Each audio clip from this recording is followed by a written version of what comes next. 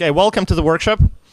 We're going to be looking at Wireshark and we're going to be looking at basic networking. So, how we're going to do it is we will take the hacker approach, and rather than learning and then doing, we're going to do and then, then learn on the go with Wireshark. Um, to enjoy this fully, you will need a device, preferably a laptop, something that runs Wireshark uh, you it would be wise if you would download Wireshark, Wireshark now already. I see some recognizable faces, so there are some knowledgeable people here, um, and I'm sure those of you who I don't recognize also are knowledgeable. Please help your neighbors to install Wireshark. It's wireshark.org, right? So you have it all. If you don't have a laptop, um, it may be less interesting for 30% of the talk, but 70% is going to be me talking, right? Okay. But having said that, even though it's a hacker approach, I come from an academic background, so the goal of this talk is to make you really, really, really understand all the layers of networking and how it all adds up and how internet works.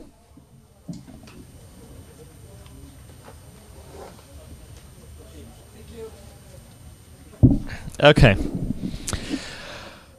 So this is these are actually two models of how networking works, and we're going to go through the layers one by one. What this represents? Oh, how many of you know what an IP? Sorry, how many of you know what an IP address is? Okay, how many of you have and aren't sure what an IP address is? And that's okay. That's what this workshop is aimed for. One. Some more. Okay. Okay. Good. So how many of you have seen a similar picture to this one before? Okay, a bit more than half. Okay, good. So, but this is a. I tried to make it beginner's one. Okay, but let's let's do it like that. Righty. So the wire or the network medium is down here. What this represents actually is the different ways or different dissectors that we can use to look at the data on the network. If we take good old classical wired network, this is where the wire goes. This is where your electrical signals go or your optical signals. And different encodings are used to encapsulate the data up to the user. So for this picture, and we're going to see it again today, you can imagine the user or yourself on the top, where you're sitting at the keyboard in your browser, at your, in your email client, and the physical medium, the wire or the Wi-Fi on the very bottom. Okay? And we will get back to that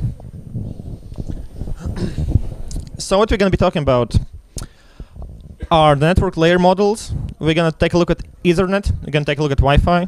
It's going to take three hours.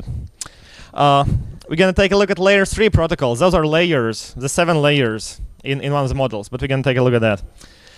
Uh, we're going to look at ARP, ICMP, IPv4, IPv6. We're going to look at layer 4 UDP and TCP. How many of you aren't sure or don't know at all the difference between UDP and TCP? If I ask you to explain how many of you could not do, the, do that or would, wouldn't be sure if they could do that? Okay, we have beginners here. Great. Cool. I really love that. Okay. We're going to have a quick peek at routing, I think, if I didn't remove that from this deck. Uh, and finally, application level protocols. Do you actually know the common thing between SMTP, which is used to send your mails online, and the post office? The return address is whatever you write on the envelope. It's the same for SMTP, same for email. You're gonna look at that. And of course, the advanced stuff, punching holes in firewalls, breaking WPA2, and much more, because we have a lot of time. right, the approach academic approach and the same time hacker approach. I already covered this, but we'll look at what we see. We'll try to understand it deeply enough, and we'll try to make it fun. Please make sure all of you have Wireshark who have laptops here. Should first ask questions later. and the first thing we do is uh, we get to know Wireshark. So we're not going to go deep right now. We're just going to take a quick peek, and then we're going to discuss what we see, and then we're going to go deeper in all the protocols right? Uh, I didn't tell you what network is. Is there is there a need to explain what network is? Uh, network is generally more than one connected devices. It's a very general definition because it doesn't have to be computer network. It, it, it can be USB and, and, and all that. And Wireshark, as we will see, is actually quite good at capturing different protocols, not only network protocols, right? But computer network is basically uh, a network that's made up of these layers that we uh, looked previously. Okay, I'm gonna sit over there. I'm gonna open Wireshark, and I'm gonna show you some stuff.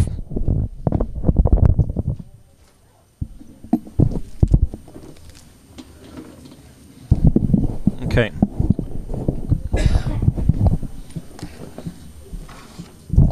Is it? Uh, it's not all louder. Louder, yes. Loud enough. Okay.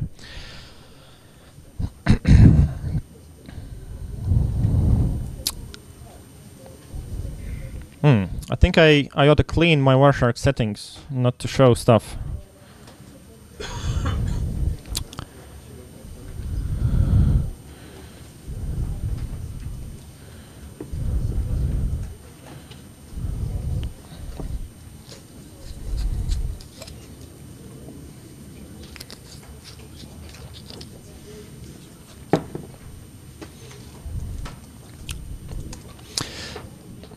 Anyway, so Wireshark is an application that is used to analyze network traffic, uh, to visualize network traffic. It can also be used to capture network traffic.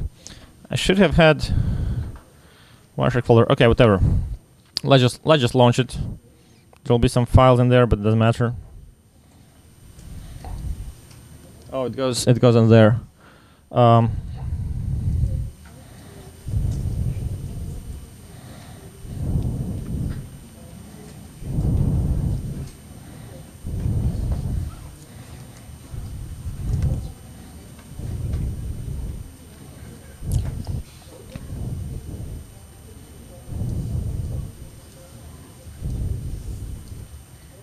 Let me set the screens up for us.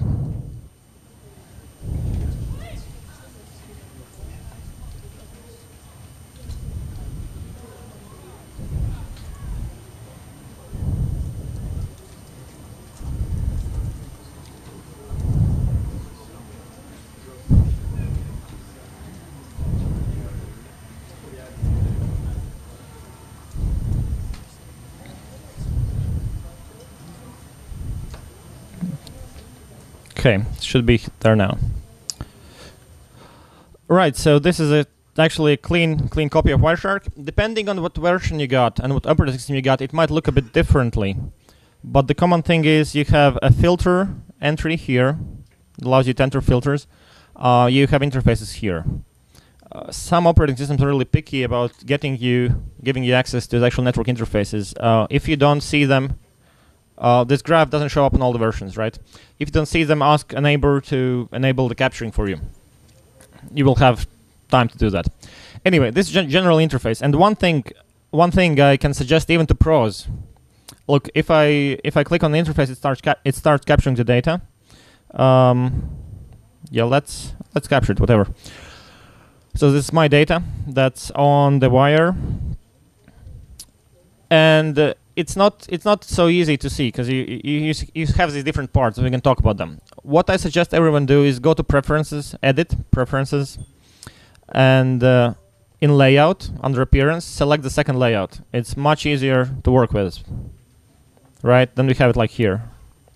Uh, why is this good? Because the left side and the right side now is showing the same information, different view, which is much better.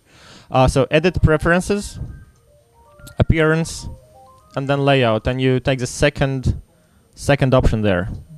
If you don't like it, you can switch back. Okay, so we will talk about what all these numbers and all these letters mean in a moment. But what you need to know now, and if I'm going too fast, please uh, please let me know. We have time, at least for now. On the top, we have. Uh, well, you better not but you can, and it, it's if you run Wireshark as uh, so the question is uh, the question was uh, would you have to run Wireshark as a sudo? Uh, so it's not advisable, but it solves many problems at once, creating some other bigger problems. But uh, it does it does get the job done. Uh, why don't you run Wireshark as sudo? Wireshark not only captures data from the network, which it needs privileges for, but it also processes them and these so-called dissectors, which allow you to visually see what you see on the left here. Um, so each line here is provided by a different dissector. it actually allows you to see what's inside the protocol. And you can take a look at that later, much later on.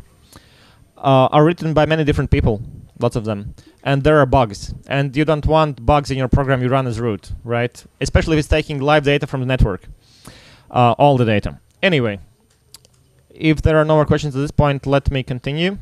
So on top we have each frame, each packet, it depends on what, what that is, but basically each piece of incoming data on the wire we have here on top. On the left in this view, we have dissected data. So it's processed data and we can take a look at what's what. On the right we have raw data. This is the whole frame. And the cool thing about this is if you click anywhere on the right, it will show you the matching part on the left. So it actually shows you which byte is what. This is quite cool. But we don't know what that is, right? It's uh, it's some jumbo mambo or mambo jumbo. Let's uh, let's get back to presentation. We're gonna work with that a bit. Let me switch back a little bit quicker than previously.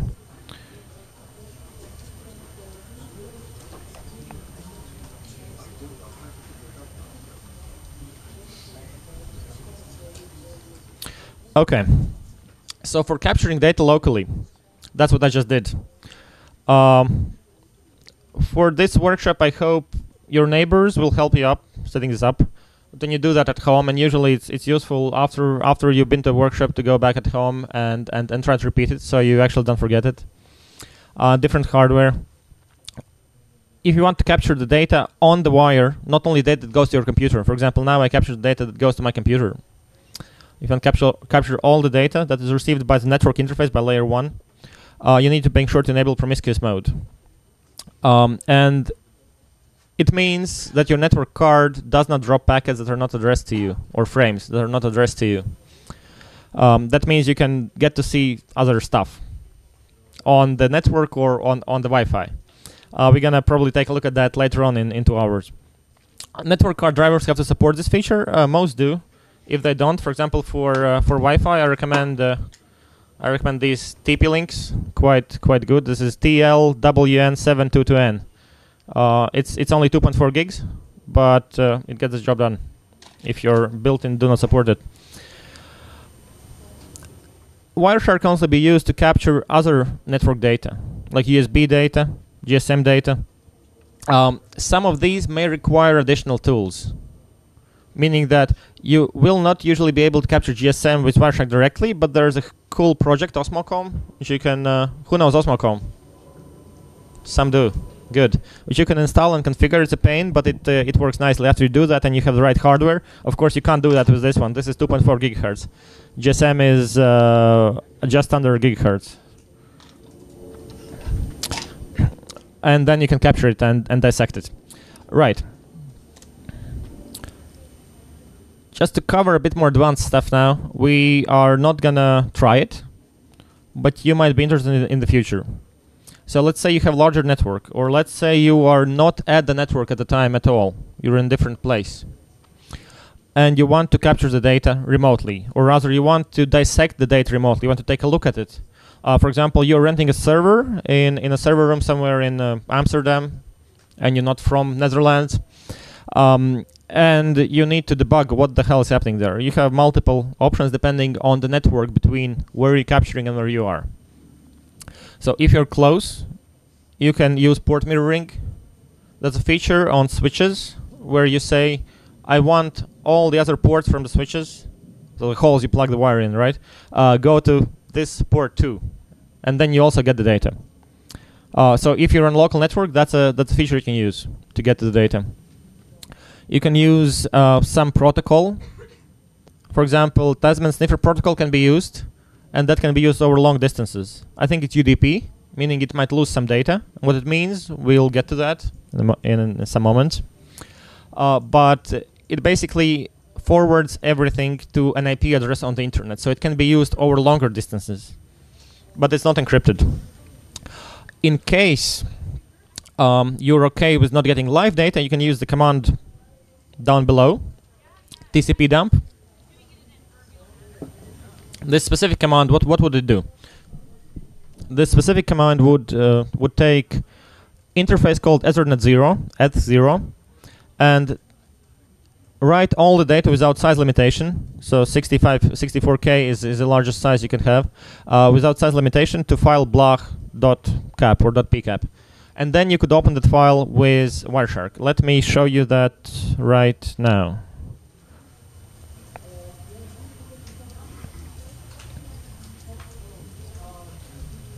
Thank you so much. So let me stop this here. Um, so my interface here is uh, WLAN zero. I don't have uh, I don't have Ethernet uh, connected currently because I was running the speaker desk the whole day. Uh, but um, let's go here. Let's, let's delete the program stuff from here. Whoops. Right. Um, so it needs it needs sudo, of course, because it needs to capture from the interface and tcpdump. Then we specify the interface, which is WLAN zero for this case. Um, have you heard of systemd? Yeah. Uh, systemd has this cool feature where interfaces are called uh, something like something like that. Uh, uh you can turn it off actually. Uh, I I did. Cool, no? Um, I if if some of you don't know how to do it, I mean I don't remember how I did it. Uh, it's it's somewhere there. Look look it up online. Anyway, uh, it specifies maximum size here, and the file you can write it to and the secret passphrase. It's secret one two three. If you oh sorry, never mind. Permission denied. Okay.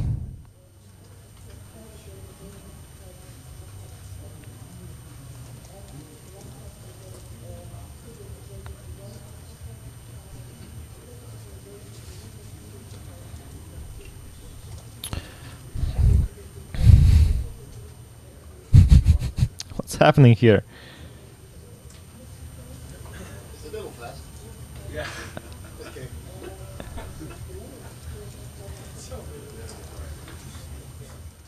Okay, so apparently, apparently permissions for my RAM disk don't allow root to write there, whatever, however that happened. Uh, okay, uh, so currently I'm writing uh, to test cap. I think that's enough. Now, when you launch Wireshark, you can also click File Open here, you can go to your TMP folder, uh, test cap, here it is.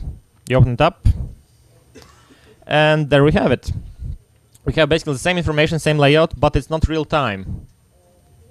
And this time here on the left is relative to the start of tcpdump, not relative to start of Wireshark.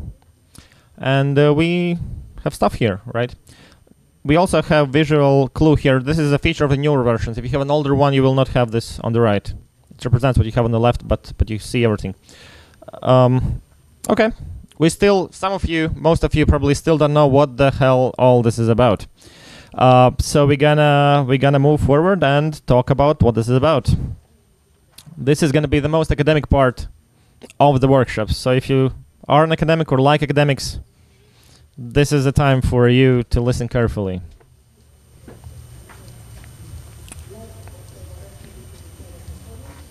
Okay, I should have put a nicer wallpaper. I'm gonna do that for tomorrow's talk.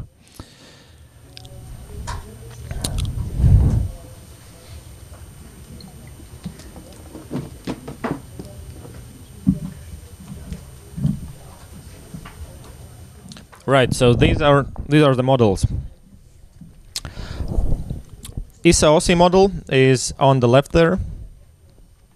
It consists of seven layers of encapsulation of the way to look at data.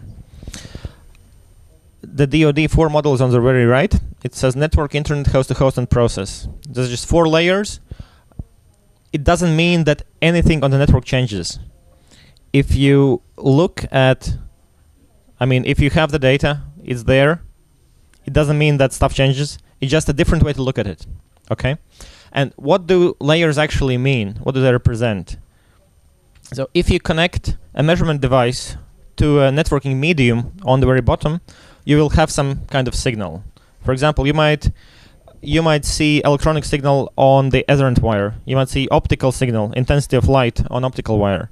For radio signals, you might listen on a specific frequency, and you might also hear some intensity on specific frequency and the frequencies around it. That's all there, and all the layers are in there.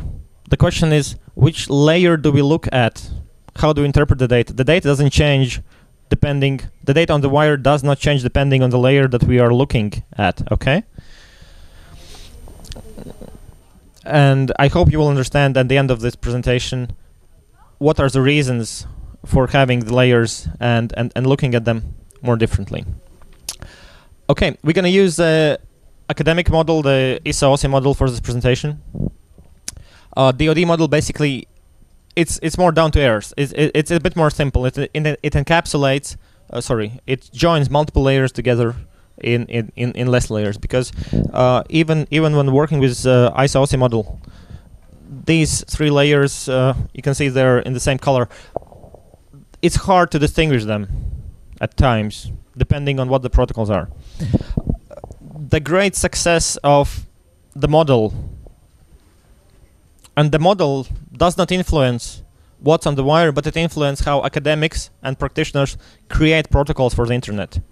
They look at the model, and the great success of the model is that it's layered, meaning you can basically swap swap up, swap out one layer, and everything else can remain the same. For example, if we swap up the swap out the physical layer, um, we can still have an IP address. It doesn't matter if you have Wi-Fi or if you have wire, or if you have optic optic cable, you still have the same IP addresses. Theoretically, for DNS, for example, domain name system, we can look at that later.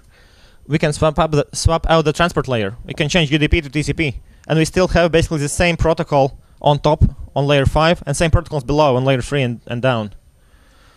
Each layer can be swapped out mostly independently, meaning that internet can evolve, we can create new protocols, and it's easy enough. There are some bigger projects uh, doing some, some larger stuff where they want to replace the whole stack. It's a bit more complex than that. But that's a great success.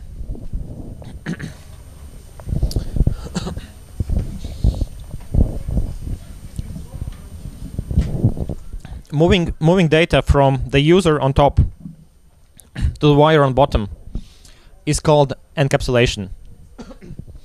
There's one encapsulation step between each pair of layers. So going from layer 7 to layer 6, there's encapsulation, 6 to 5, there's encapsulation, 5 to 4, and so on.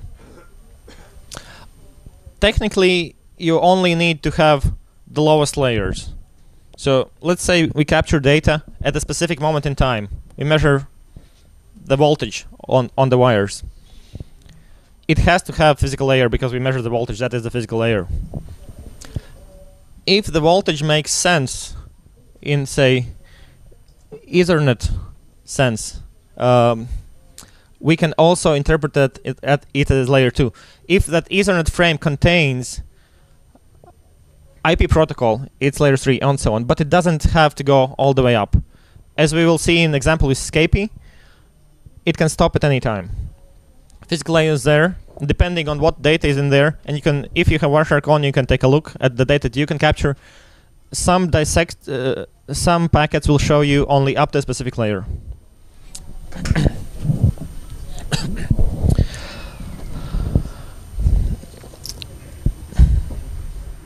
right.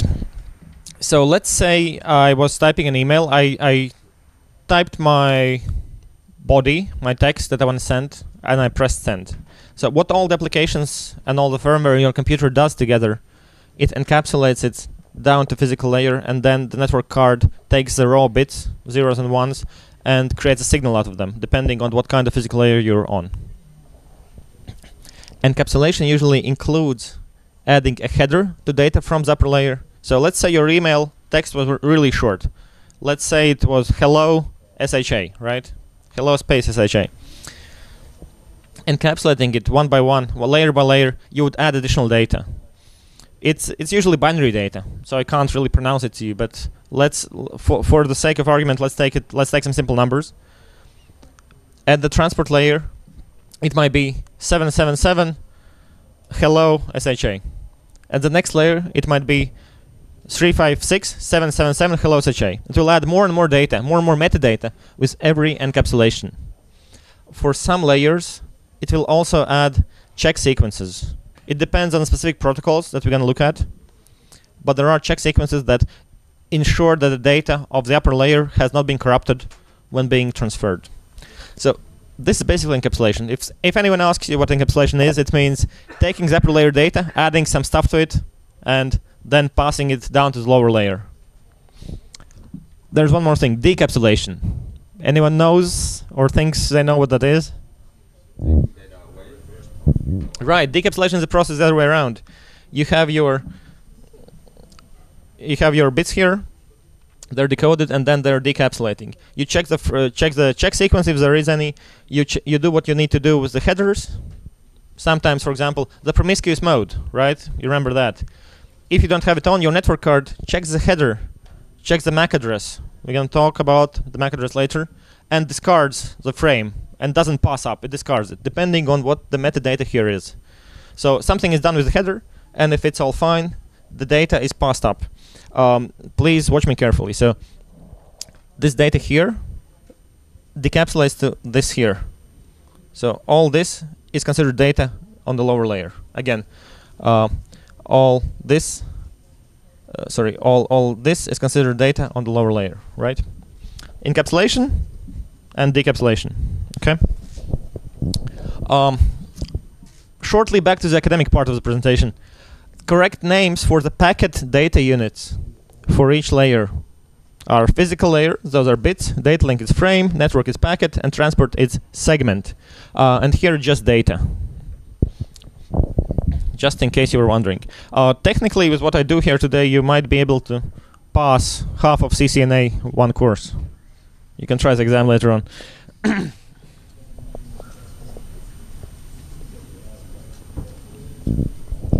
so I don't have much to say about the physical layer. I mentioned the different physical. I'm gonna walk around so everyone can see. I'm, i mentioned different physical layers um, multiple times already. So, academic definition of physical layer is that the goal of it is to specify the electrical, mechanical, procedural, and functional requirements for activating, maintaining, and deactivating a physical link between and systems. There are some keywords there that are actually important that actually make sense. Actually, all of it makes sense to me. Uh, but electrical means physical layer deals with voltage levels. It, it deals with which voltage level is zero, which one is one. Physical means it deals with what kind of socket there is. So if you want to plug in a cable in a, in a port, sockets have to match, right? And so on. The physical link between end systems means that physical layer only works between systems on the same network. With wire, it's simple. You have wire, each wire has how many ends? Two. And if you cut in half? One. You cut, you cut a wire that has two ends in half, how many ends do you have? You still have two ends. Four ends. You have four ends. anyway, because you got two wires. so, no, that's ju just a small joke. Sorry about that. okay, so a wire, however, how many times you cut in half only connects two systems, right? So it's it's a physical link between two systems, two network interfaces, two cards. Uh, it's a bit different with wireless, but wireless still we can talk about physical link. We have an access point, and we have all the devices that are physically connected to that interface using that medium. Medium for wireless is the radio spectrum. It's basically the electromagnetic bandwidth available for using for using the radio. And it's it's that physical link between end systems. So on the physical layer alone, we cannot transmit further than the physical cable goes. If we put a switch in between in order to make a cable larger, the physical layer ends with a switch.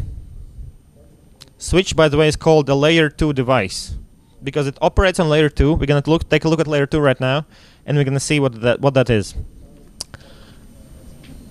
A switch layer 2 device.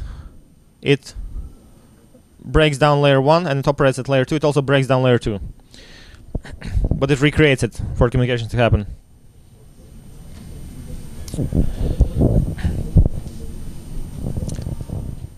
Oh, we're still looking at layer 1. Sorry about that. So layer one actually consists of two sublayers. Continuing with the academic, academic part here. Uh, the data link layer is responsible for delivering the messages to the proper device. Meaning that there's some kind of identifier in the data, data link layer that can be used by networking equi equipment to route, well, route is not the correct term, uh, but to manage the direction of the data. No, this is layer 2. My apologies. Yes, layer 2. Right, layer 2 consists of data link layer and, uh, and the MAC layer. So data link layer also formats the message into data frames and adds a header. And it contains these addresses. It contains the destination address and the source address. Now, only for Ethernet, only for Ethernet, those are called MAC addresses. Only for Ethernet. There are different layer 2 protocols than Ethernet. Ethernet is the most accessible one for most of us. And data link layer consists of these two layers, media access control and logical link control. Ethernet is one of the protocols that can be used on layer 2. Here is uh, a small example on your right.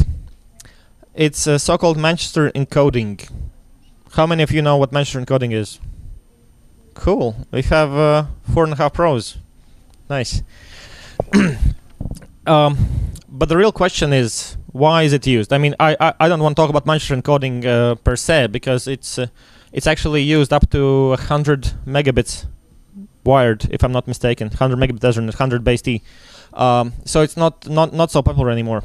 Uh, but uh, the idea is good, and it can be used when designing protocols of such a low level the idea behind Manchester encoding is to build in a clock into data. So what is a clock for low-level protocols? Remember, we have these two devices. Let's take a simple case. We have these two devices wiring between them. And the device A wants to send to device B data 10100111001, right? What if device A wanted to send 1000 zeros in a row? How would device B know that those are 1000 zeros, not 1001 zero? What if they wanted to send a million zeros? Clocks between devices may not match. Clock speed may not match, and it was specifically a problem back in the day, and even currently be between different manufacturers, it is possible for oscillation frequencies on the chips to not match. to fix that, uh, an encoding can be used. One of the simplest schemes is called Manchester encoding. And as you can see, it takes a clock of the sending device. It has its clock and it wants to synchronize its clock to the receiver so the receiver knows how many zeros or ones are being received. And it's quite simple, really. For each clock, we have one bit. So clock is on and off, right? The first line. We have one bit. And if the bit is 1, it means change the signal level on the wire. This is signal level on the wire. Like you, can you can look at it as uh, uh, minus five and plus five volts, which is not not correct, but you can look at it like that. Change the level on the wire from minus five to plus five, and for every zero, change the level on the wire from plus five to minus five. And what do we have in the end? In the end, we have oscillations all the time. So if you have multiple ones, we go down and we go back up if you have multiple zeros, we go up and we go back down. That way, clock gets built in into data stream. It's a it's a good principle that can be used in many many places, right? This way, receiver always knows how many sequential zeros or ones are being sent. anyway, this was a bit deep. Uh, let's look at the MAC address.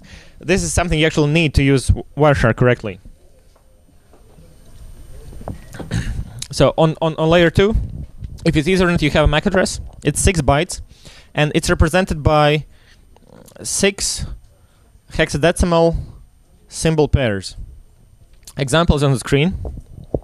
That's, uh, I think I just made that address up. Yeah, just I just asked the random number generator, and, and there's an address.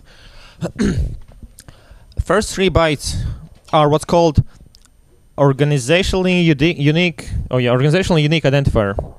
It's assigned by IEEE to different vendors of network equipment, including network cards. Well, then there are some people to the east, uh, some countries to the east, who just uh, take them randomly and create whatever others they like. Uh, but it, there should be globally unique theoretically, but it's not such a huge thing because remember, layer two only matters locally.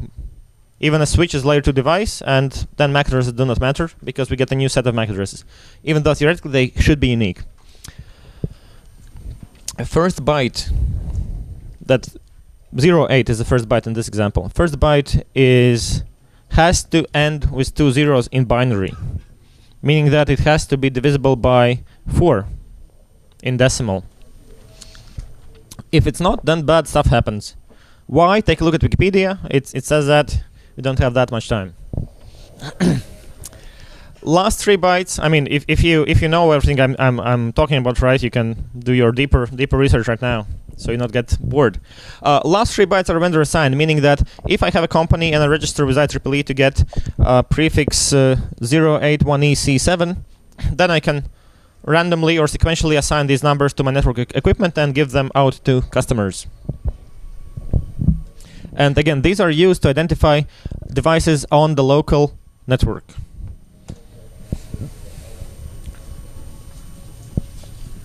Oh, we're also gonna let's take a look at Wi-Fi here, because Wi-Fi is, is is is basically one of one of options for the lower layer. This is a neat table I I put together. Uh, so we have different Wi-Fi standards. We have different frequencies for them, and we have different maximum speeds.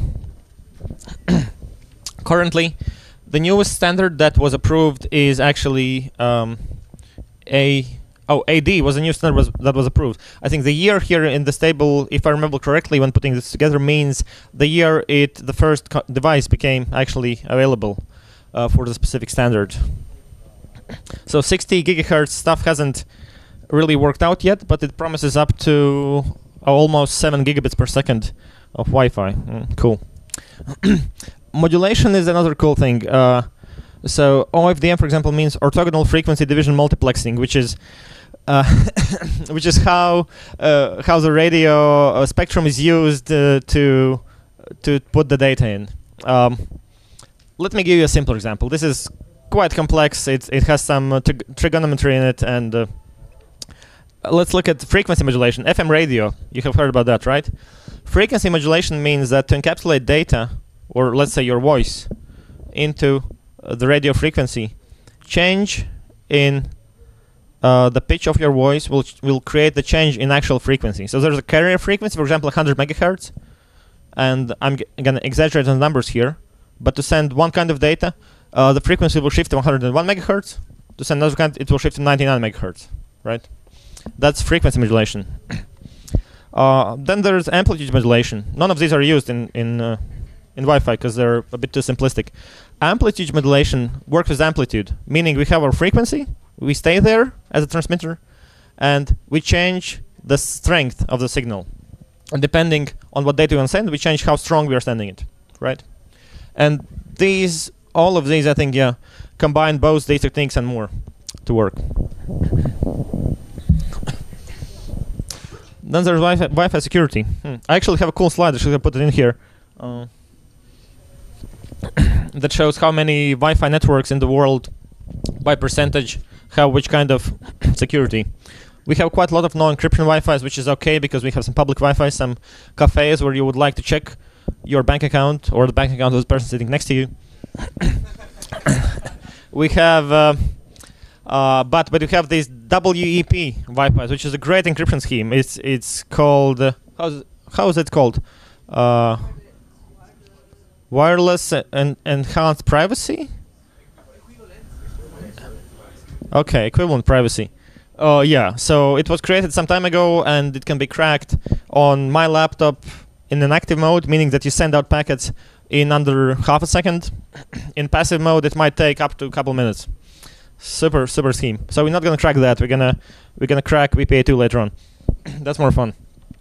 Um, 802.1x. At this conference here, for those of you who read the booklet carefully, you're using probably the right network, which has 800.1x encryption. meaning that well, a user can tell that by entering by having to enter a username and a password, and that's that's cool because key gets it's it's it's a bit more secure, right? Because for one attacker has to guess both the the username and the password. For for other, you can't really use traditional offline brute forcing techniques for brute forcing that. Uh, yeah, if anyone has uh, any doubts when you go back back home, remember this is a be- beginner's workshop, right? If anyone has any doubts when you get back home, which setting to choose, choose WPA2. Choose WPA2 at home. Uh, you will not be easily able to set up the last one. Choose WPA2 and it uh, is gonna be fine. Choose a hard password though.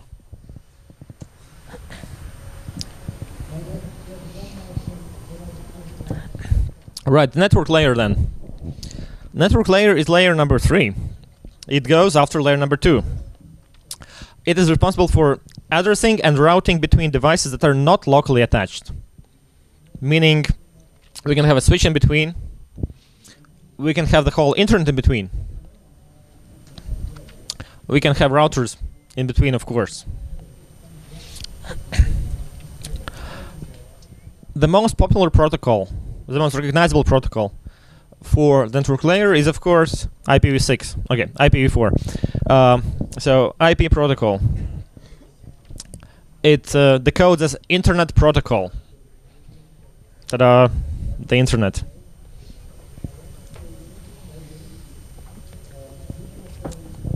Internet Protocol, of course, uses Internet Protocol addresses, IP addresses, uh, to address. And IP addresses have to be globally unique, for sure. Except North Korea, they just take them randomly. Seriously. and then, then for the couple computers that they have, then they can't access some stuff because their national sysadmin uh, chose the wrong addresses. right. Uh, so you can read the academic definition, definition on the screen. Uh, let me walk here so everybody can read it. IP addresses are assigned hierarchically, uh, meaning that, uh, let's say, this camp. Actually, I, I had I had so much work I haven't even looked at, at the IP setup here. I, am just an end user uh, this year. Uh, but I guess do we have real IP addresses here?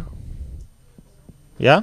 Yeah. Okay. Cool. Yeah. That's what I thought. Anyway, uh, so the camp got uh, some some part of IP space, IP address space, and each of us is getting some smaller part, one address of all the space. So it's hierarchical system. There's a network part and a host part for IP addresses. We're gonna take a look at that soon. And then there is IPv4 versus IPv6. Mm. V stands for version. Good question. What happened to 5? It never happened. uh, right, IPv4. Uh, so the thing is, uh, I don't actually. I'm not sure, but I think IPv4 isn't actually version 4. Uh, I think IPv4 stands for 4 bytes per IP address. But uh, IPv6 doesn't have 6 bytes per IP address, it has much more. Uh, but addresses are by far not the only difference between IPv4 and IPv6. It's a completely different protocol, but check this out. Applications still work. Even though we have a bit different TCP and UDP protocols on layer 4, layer 5 and up, same stuff. So that's great. But somehow we still haven't deployed IPv6 too, too far.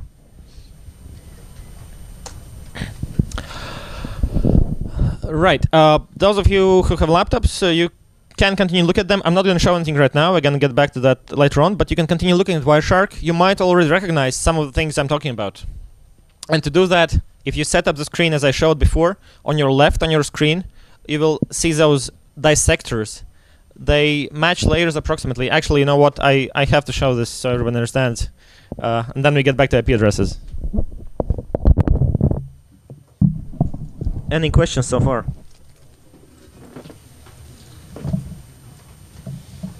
Oh, I can't run uh, Wireshark without Sudo. Yeah, sure, sure. Uh, it's it's a quick fix, as I said, with some risks.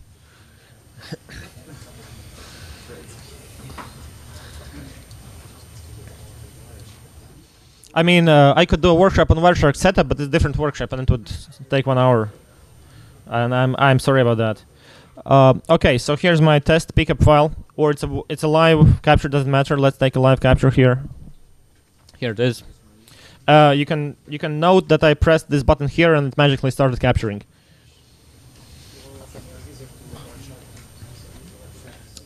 So you already see you already see some IP addresses here, some IPv6 addresses. We haven't looked at them yet. Um, you also can see some MAC addresses. Those are not here, but you can see them here. Uh, and the thing I wanted to show you right now, why I have this on screen, is because in Wireshark, it's the other way around. User is on the bottom, and the wire is on the top, right? So this is, well, it's not layer one, but this is layer two, this is layer three, layer four, and layer five and up in this case, right? This is the way it goes. we don't have layer one in Wireshark uh, because um, that would take quite expensive network adapters to get that information, and what's more important, it wouldn't be useful at all. Uh, well, it would be useful if you're doing layer one research and attacks on layer one. So I guess some people have that, that equipment. We don't. Um, so instead of having layer one here, what Wireshark does is it puts all the metadata instead of layer one. So we see where it was captured, what kind of encapsulation, when it arrived, uh, the frame number, sequence number, the length. So it's, it's basically metadata instead of layer one. But we don't really need layer one for most work, including most security research, including most network security research. We don't really need layer one um, here. So it starts at layer two here. So again, I want to show you this so you know, and it's easier for you to follow. Layer two is here, and then three goes down, four goes down, five goes down, and so on. Okay, uh, let's get back to the presentation then. And meanwhile, you can uh, keep clicking around and seeing what you see.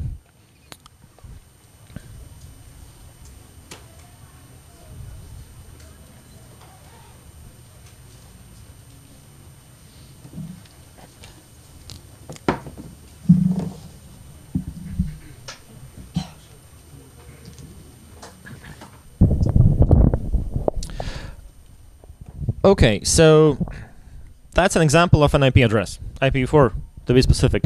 Uh, usually, when people talk about IP addresses, they mean IPv4 IP addresses because uh, that's the de facto protocol for layer 3 on the internet. IPv4 is divided into five classes A to E, and uh, A, B, and C are generic classes assigned to organizations. D is a special class and E is a special class. D is used for multicast, which is actually which could be a topic for separate workshop. It allows you to send information to multiple devices at the same time. Yes. Why are we still talking about IPv4 classes? Thank you for the question. We're talking about the class and we have the slide because of D and E to understand that those addresses can be used for normal purposes. But of course, we're gonna be talking about uh, classless routing. So, as I was saying, class D is used for multicast purposes. You should not, and I would guess you cannot, in large enough deployments, use those addresses, and it won't work. Uh, class E is used for R&D, research and development. Those work okay on most uh, on most applications. Uh, even though normal people usually just create a closed network with whatever addresses they want from A, B, and C to to do their research because responsible research is not connecting it to the internet. Otherwise, your new application, uh, Kronos or whatever, might get leaked, and then you get in trouble. okay. Um, so, final thing for this slide is A, B, and C was back then, uh, back uh, 15, maybe oh, it's 20 years ago now, uh, used to actually decide how much computers can be put on a network on one layer 2 network but it's not so important anymore. That's why we had three of them. Uh, currently, it's not being really used. Currently, what's being used is classless routing. And I mentioned briefly before two things. I mentioned uh, the network part of an IP address and the host part of an IP address. Here it is. The red is the network part, and the white is the host part. In this specific example, the network part is responsible for identifying which network, which layer 3 network is the device on. The white part, the host part, identifies which device on that network is being addressed specifically.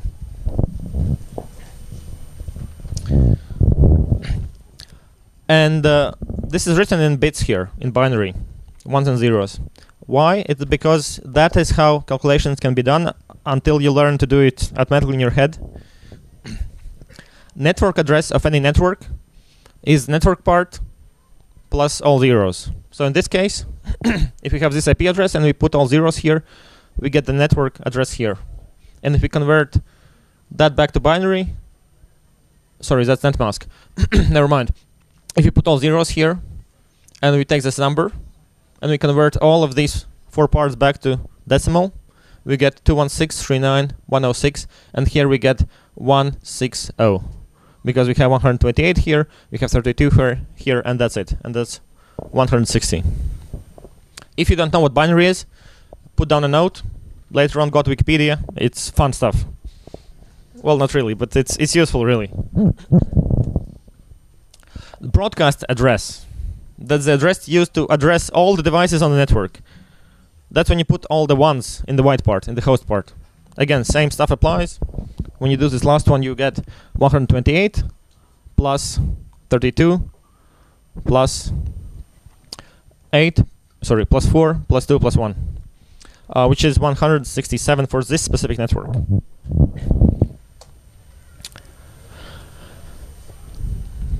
Classless interdomain routing notation. Ta-da, 29. What does 29 mean? You might notice that netmask, which is actually what indicates which part is red, which part is blue, it starts with all ones and then zeros. It always does that. Mathematically doesn't have to. Uh, in real life, it has. and we could, uh, if we write it down that way, we have all these ones here, right? And it's it's it's waste of space. We have this 255, 255, 255, and then usually zero. Much shorter way to write it down is CIDR. We just write down how many ones we have. In this case, we have 29 ones. It's the same thing as saying uh, slash 29 as 255, 255, 255, 248. To, in order to understand networks and work with networks, you need to know both notations. Depending on the tool you're using, you might be required to input or, or the output would be in one or the, or the other form, right? Some more special IP addresses that you might see when working with Wireshark or other network tools. All zeros. That's uh, yeah. So all zeros. Um, that means default route in most settings. It may mean something else in other settings, but basically it, it talks about the default route, the device on your network where all data should be sent if your computer doesn't know where to send it. That is the default route for, for end devices. Then we have loopback address. It's actually uh, loopback network is uh, 12700. Uh, loopback address is 127001. For most operating systems, anything will work uh, in, in, instead of one. Loopback address is used to address your own device. So let's say you're on the server. If you try to connect to this IP address, then you will uh, connect to the device itself.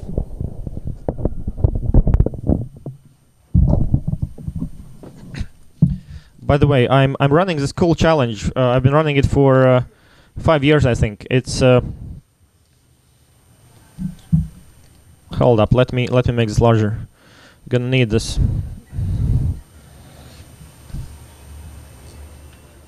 Right. Um, so my email is uh, sha2007 2017 at kirils.org, right?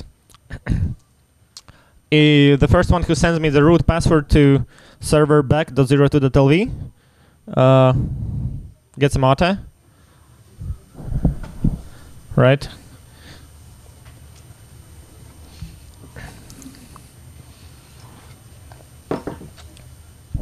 Okay, let, uh, let's let's take some time to set in.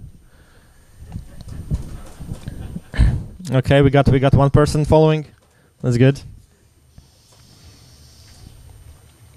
Right. So basically, of course, you can set an IP address to a DNS entry to, to, to loopback. which means that eh, depending on the computer that you are using to connect to this address, you will get the you'll get the same computer that you're on. And uh, finally, we have all ones. This means all nodes on the current network. So we can use the broadcast address here. Oh, I'll put this down. We can use the broadcast address here for the specific network. If we don't know or don't care which network we're on, we can use all ones. It is the broadcast address on the current network. That's how you write it down. Uh, most tools will not accept this form. You cannot you cannot use this. Um, in Windows, by the way, I think there are multiple ways to write IP addresses. I haven't used it for some time, but you can use decimal form. You can like take all 32 bits and write it as a huge decimal, and and it will work. You can you can try it out. It worked in Windows 98, which was where uh, when I last used it. Uh, it should work still, I guess. Why not?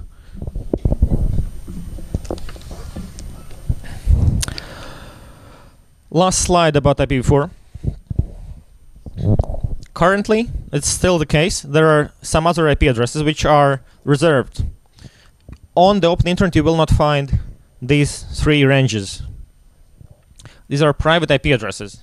And because IPv4 addresses are so scarce, we need those private IP addresses uh, because we are lazy, bad people who don't want to adopt IPv6 we are using uh, these private IP addresses, and we have what's called NAT, Network Address Translation, meaning that for conferences that suck, you get one IP address and everything else is private, which means you cannot directly connect to every computer on the network.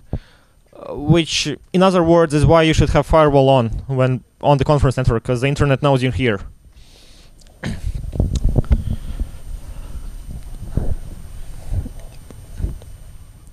Right, but having these as private IP addresses also means they do not route normally on the internet.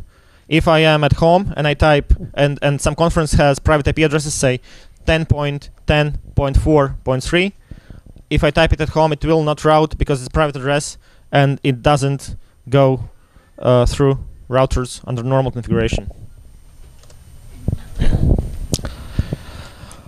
Okay, next, yes, please. research network range is this allowed public? Uh, research network. No, I think it's not. I think it's not because it's not assigned to anybody, meaning that routers do not don't know where to route it. You you would send it through the default route up upstream, and then when we get to BGP routing, it would it would drop it.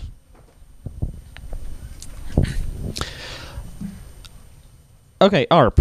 By the way, uh, those of you who have, who have Wireshark open, up up in the line where filter is, you can type in ARP three letters and press enter. Uh, some of you or most of you may see something if you've been capturing for some time. This anyone anyone got something there? Yeah, we have something good. Um, so the filter it's more, more, much more powerful than just typing in a protocol. Uh, but currently you filtered all the data units that contain the ARP protocol, or, or rather that terminate in ARP protocol, where the highest layer is ARP. ARP is a protocol that does this basically. You have an IP address, you go to the MAC address. Why do we need that? We need this because, uh, well, humans don't really work with IP address either, but we get to that later. Uh, so you have an IP address, but on the local segment where you are, and in the local segments between the huge route that is the internet and the connection that you're making, we need to know the MAC address. Remember encapsulation?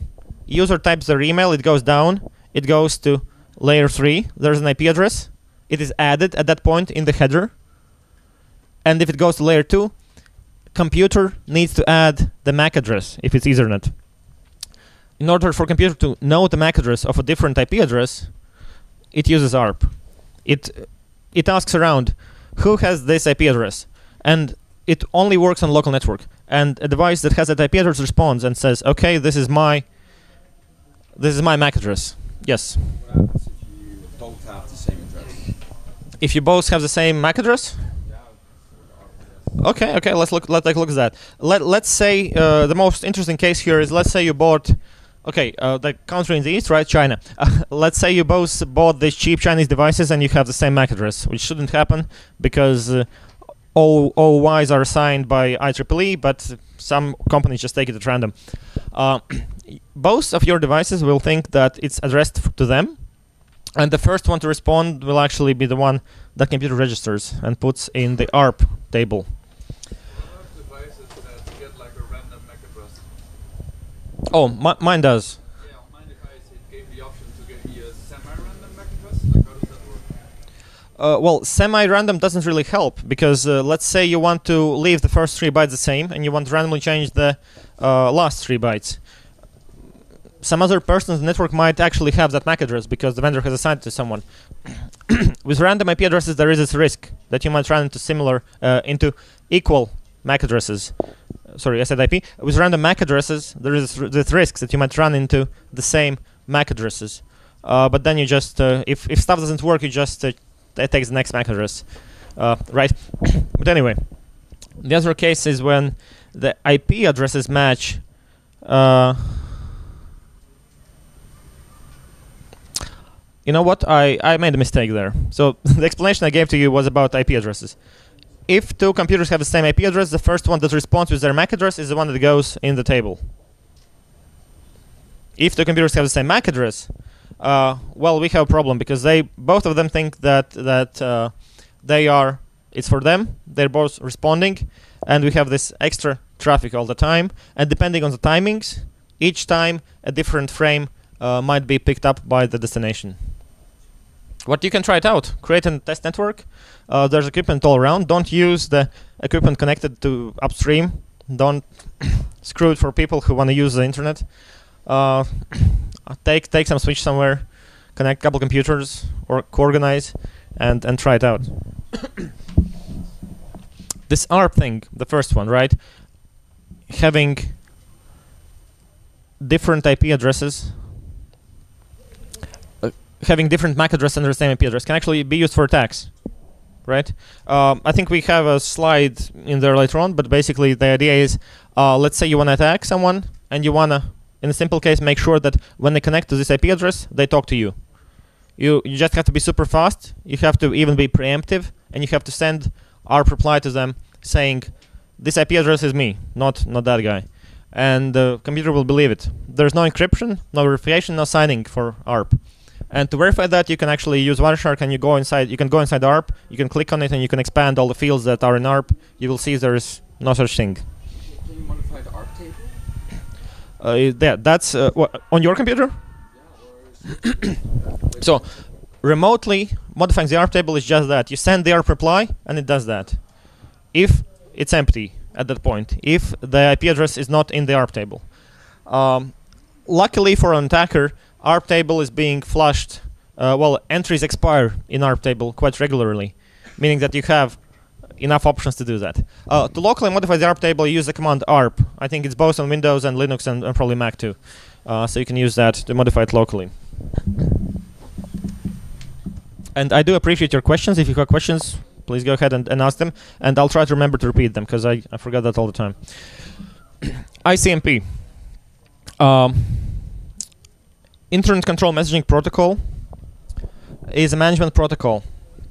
Um, it is used in conjunction with IP to inform the source of the packet that something went wrong. Here are some examples. TTL means time to live, and it's implemented inside uh, IP protocol to avoid routing loops. Each time a packet crosses a layer 3 device or a router, the TTL field, and you can find it in an IP packet. You can type IP in search and, and take a look at some IP packets that you have. Every time it crosses a router, TTL gets decreased by 1. Uh, the initial value depends on the operating system that you use. It's usually no more than 32. and if you cross the number of routers that you have TTL set to initially, then uh, your packet gets dropped by the next router, and router creates an ICMP packet saying TTL exceeded and sends it back to, to the source, knowing that there was either a routing loop or the packet was too um, either routing loop or the route was too large, too long. By the way, um, as I said, uh, and again, I'm sorry that I, I was a bit too busy and I didn't go through the presentation again today. So I did that a week ago, and I might tell you something that's in the slides later on. But let's risk it. L- rather tell you than twice than not tell you. Let me show you an example.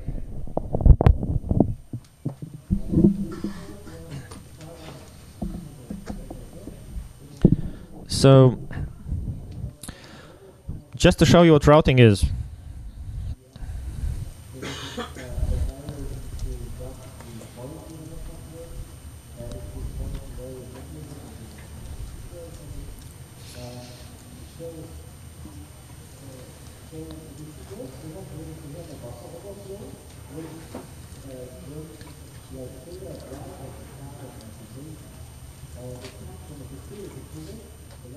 So I'm specifying max hops here. So how many routers can it go through? Let's say 60 for this case. Well, uh, we can. Yeah, let's say 60 for this case. Traceroute is actually a bit different application, and um actually, um, I'm going to show you in Wireshark. It's quite interesting. So traceroute is used to identify those devices that your packets go through when going for a specific destination, and it's done in quite an interesting manner. I'm gonna set up the capture here. I'm gonna launch the trace route. Right there we are. It's done. So you can see these ICMP packets here. You can you can run the same on your computer, sure. You can choose different domain um, and and run it. So a packet is sent to the destination IP address that I chose, and in IP field, TTL is set to the minimum value. In this case, one the first router decreases the counter and looks at it and says it's zero and sends back TTL exceeded. And this here is the first router's IP address because it is the device that sends us the packet. Uh, then my computer sends it again, but this case it says uh, that's probably repeat.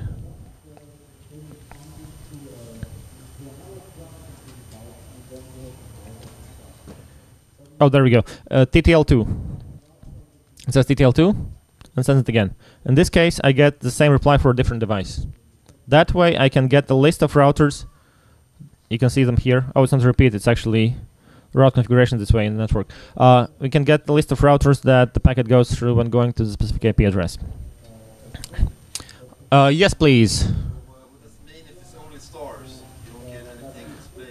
If you get stars, that means a specific device is sent not to reply with ICMP to you. Or it is set to filter the specific protocol that you are sending. So here, for example, uh, tracepath uses UDP protocol on some specific ports. Technically, you can use this with any type of protocol. You can do this TTL trick. And there is, uh, what was the name? Um, hping3, which allows you to do all these tricks and it's uh, a bit complex, but it's fun. You can use different different type of packets to send it. Um, right. So let me show you. Let me show you one cool trace route here.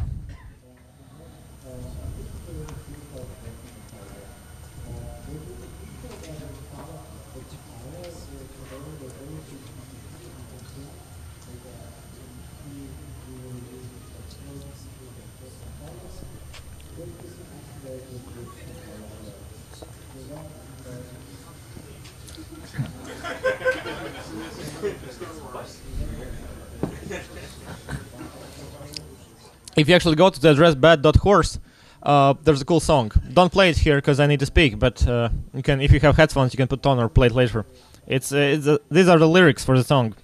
And that's the face the expression the guy makes at at the point. um, okay. Right. Uh, let's continue then.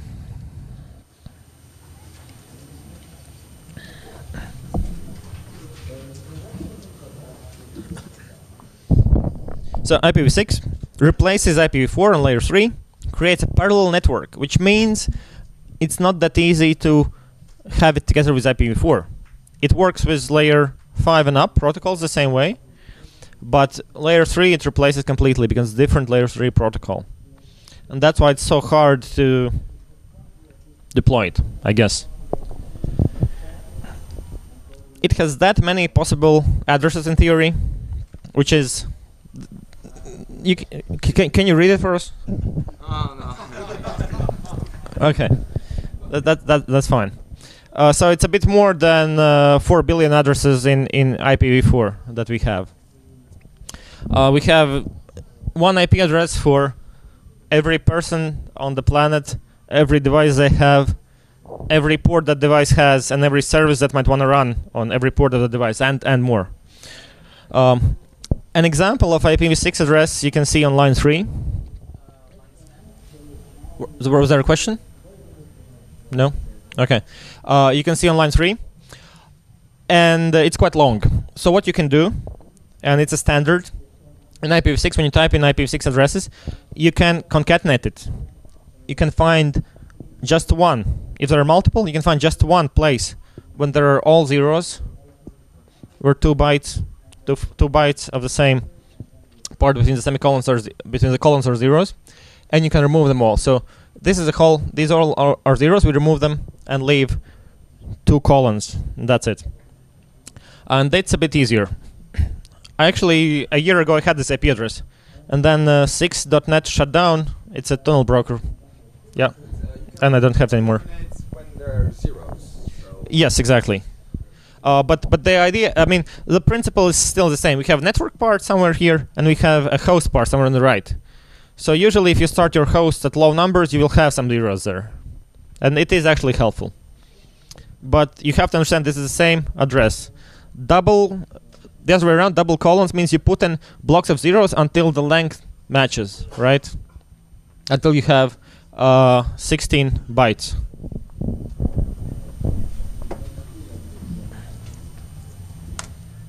That's it about IPv6. Yes. MAC addresses change when you're using that. No. Layer 2 stays the same. MAC addresses do not change. Thank you for your question.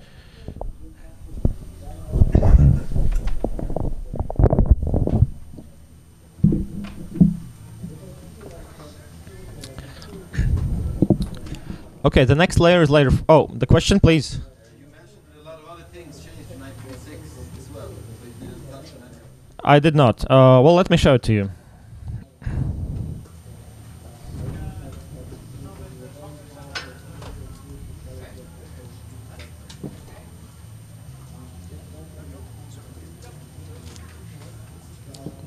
Okay, here is uh, IPv6 magic here, and here's some IPv4 non-magic. Right.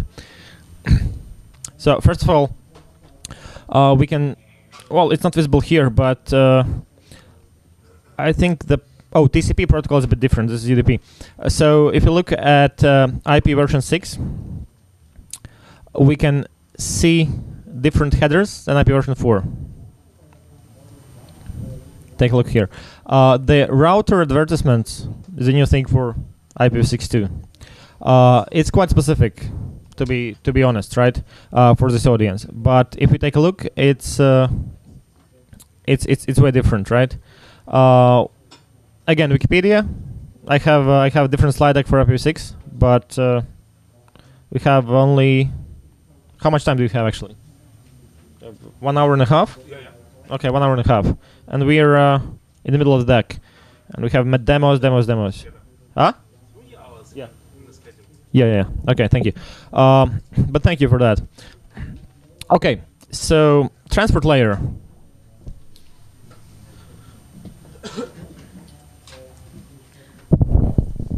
Transport layer, as the name suggests, is responsible for transfer of data in a reliable manner. It's responsible for the data to arrive at the destination in order and error-free. And this is because IP, the most recognizable layer 3 protocol, is a packet switch protocol, meaning that the routers that we have in between two endpoints, they can switch the route that they're using for every packet. They're not bound by any law to send all your packets for the same stream through the same route. They can change like that. And that's why we have transport layer. It does some buffering, among other things, and receives uh, the packets and rearranges them in the original order. That way, if you send a long text that doesn't fit in a packet, you can actually arrange them back in the right order. This has to deal with TCP mostly, because transport control protocol, and we're going to talk about that in a minute. But here, so two types of uh, layer 4 protocols: connectionless and connection-oriented. Uh, connectionless meaning uh, meaning that we can just send data and that's it. We don't need to agree on anything. We can send the first packet and it's already data. Connection oriented means we have to set up a connection in some way or another. Here is UDP. UDP is nothing what uh, what what layer 4 is about. UDP is basically there uh, to fill the void because there needs to be a layer 4 if you want to have layer 5. It's a best effort protocol, meaning it doesn't care about errors, it doesn't care about delivering data. This is everything there is. Header consists of these four fields for UDP, and then data. Data is uh, layer 5 stuff coming in there. Notable features of UDP, user data protocol, is minimalist design, as you can see. It doesn't retransmit data if it's not delivered. It doesn't care. It just sends the next part. And it doesn't control delivery of the da- data either. It is stateless and transaction oriented. So it doesn't keep the state of the connection. It's not a connection oriented protocol. All right, the fun demo. Yay.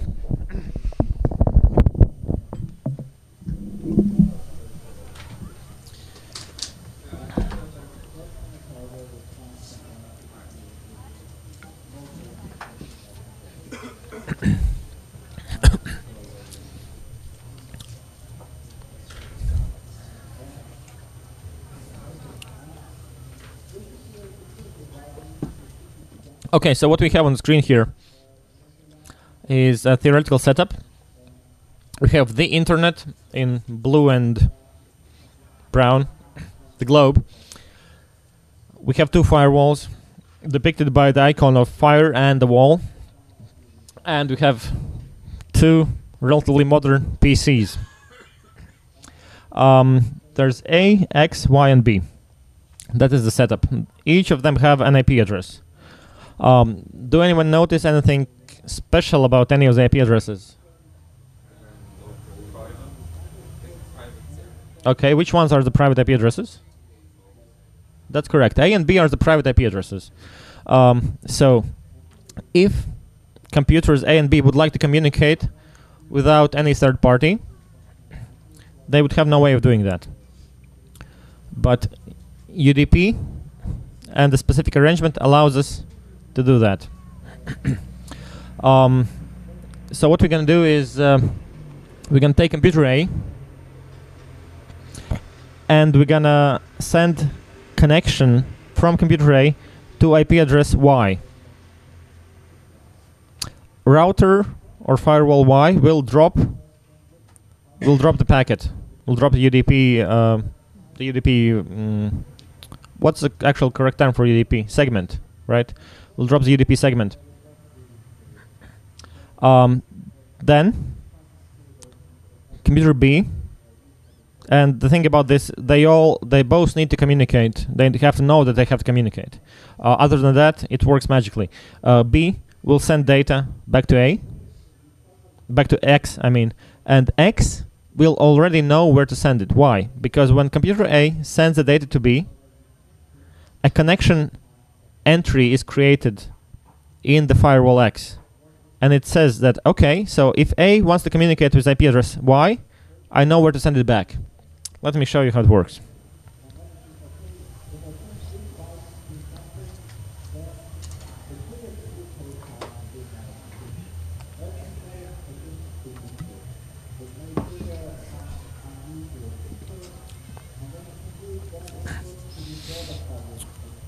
Okay, so I have some IP address here.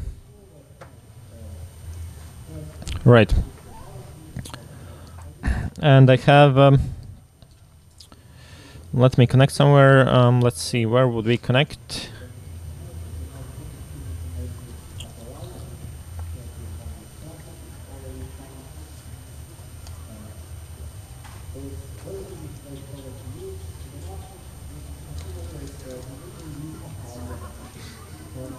Cool.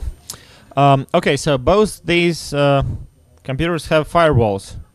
Those are not private addresses, uh, but there are firewalls which will not allow to connect to them. I'm gonna. So the left one is my computer, the right one is my server. I'm in a different country. Um, so this command will listen for UDP packets on port uh, 2345. I forgot my IP address.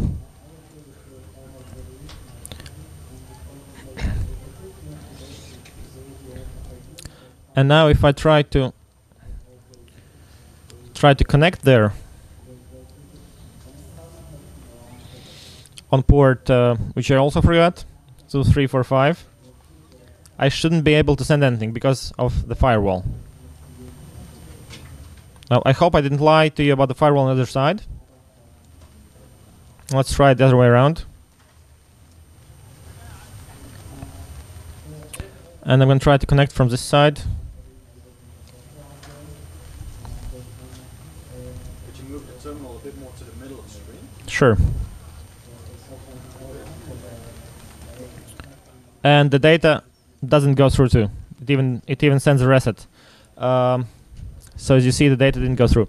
Now, what we can do to make these two computers talk together, even though there are firewalls, in this case, in my computer's case, on my computer, and in on server case on the network, how do we make them communicate without reconfiguring the firewalls? Um, I will now write the commands again. From here, I will connect to the server on port, say 888, using UDP. It will not work, of course. On the server, I will not listen. Rather, I will connect to my IP address here on this network on the same port.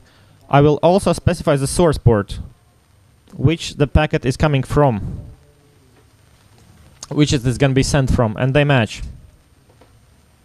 Um, let me. Uh, it's not okay. Wireshark isn't helpful. Uh, okay, uh, we do. Oh, minus U UDP. We do this. So UDP is connectionless protocol, meaning that when I launch this, nothing has been set up yet. Only when I send the first packet will actually any data be sent. The first packet will be sent from the server to my laptop, and it will not reach it because of the firewall. But at this point, the firewall at the server side knows that server is trying to communicate on port 888 eight, 48 uh, with that IP address. My firewall doesn't know anything about it. Now I try to communicate with the server. I already got data through. And now, as I send this 45667, my firewall knows that I want to communicate with the server on port 8888 and will think the data coming in is part of that connection, not the other connection. There are actually two connections in, in quotes, of course, because UDP is connectionless. But now we can actually communicate between the two devices on UDP.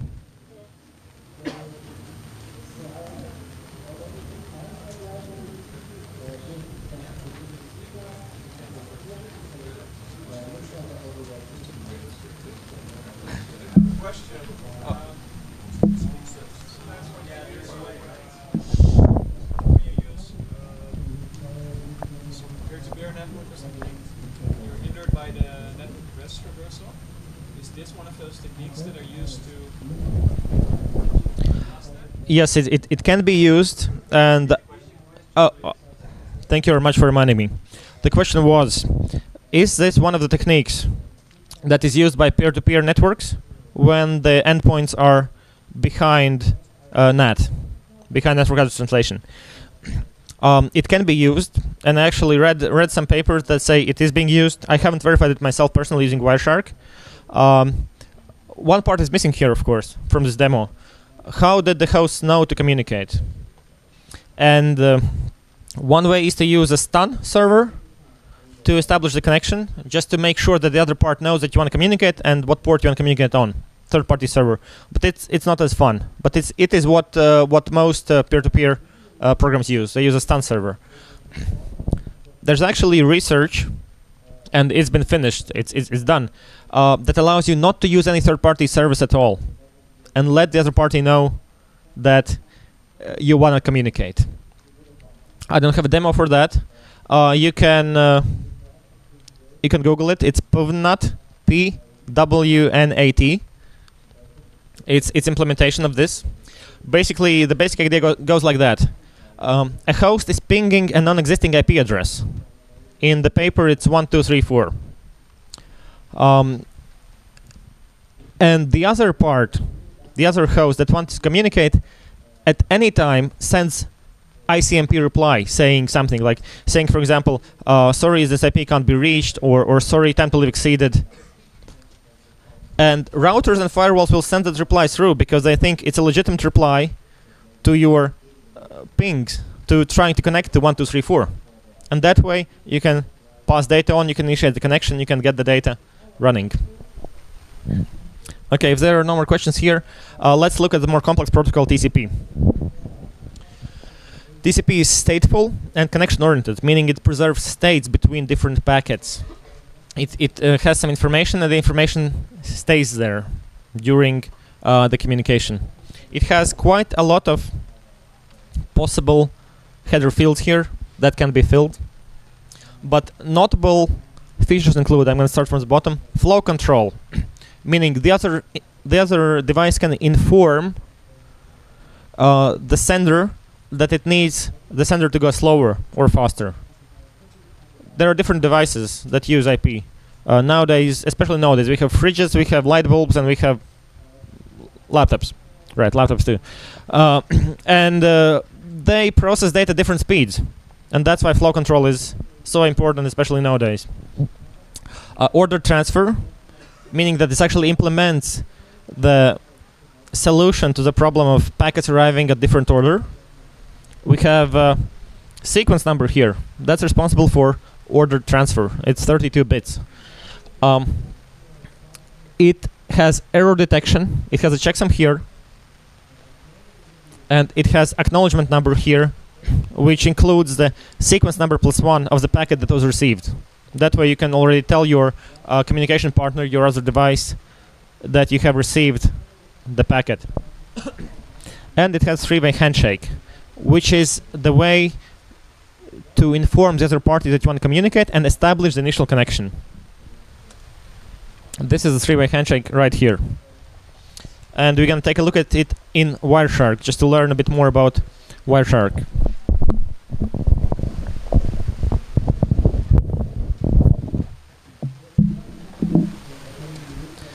Um, so the client uh, will send a so-called SYN request synchronization request. Server will respond with ACK and SYN. Client will send SYN, and then we will have ACK from the server. Uh, let's take a look at that live.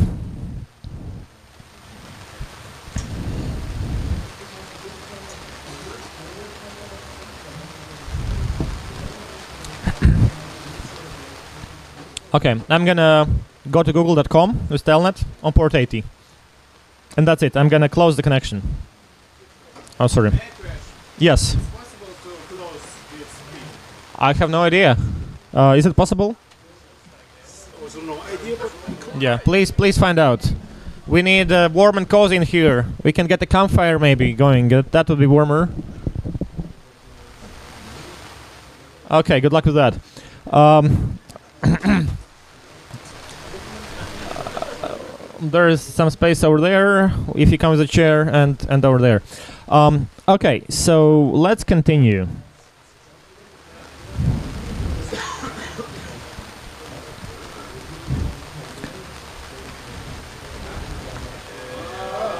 this better?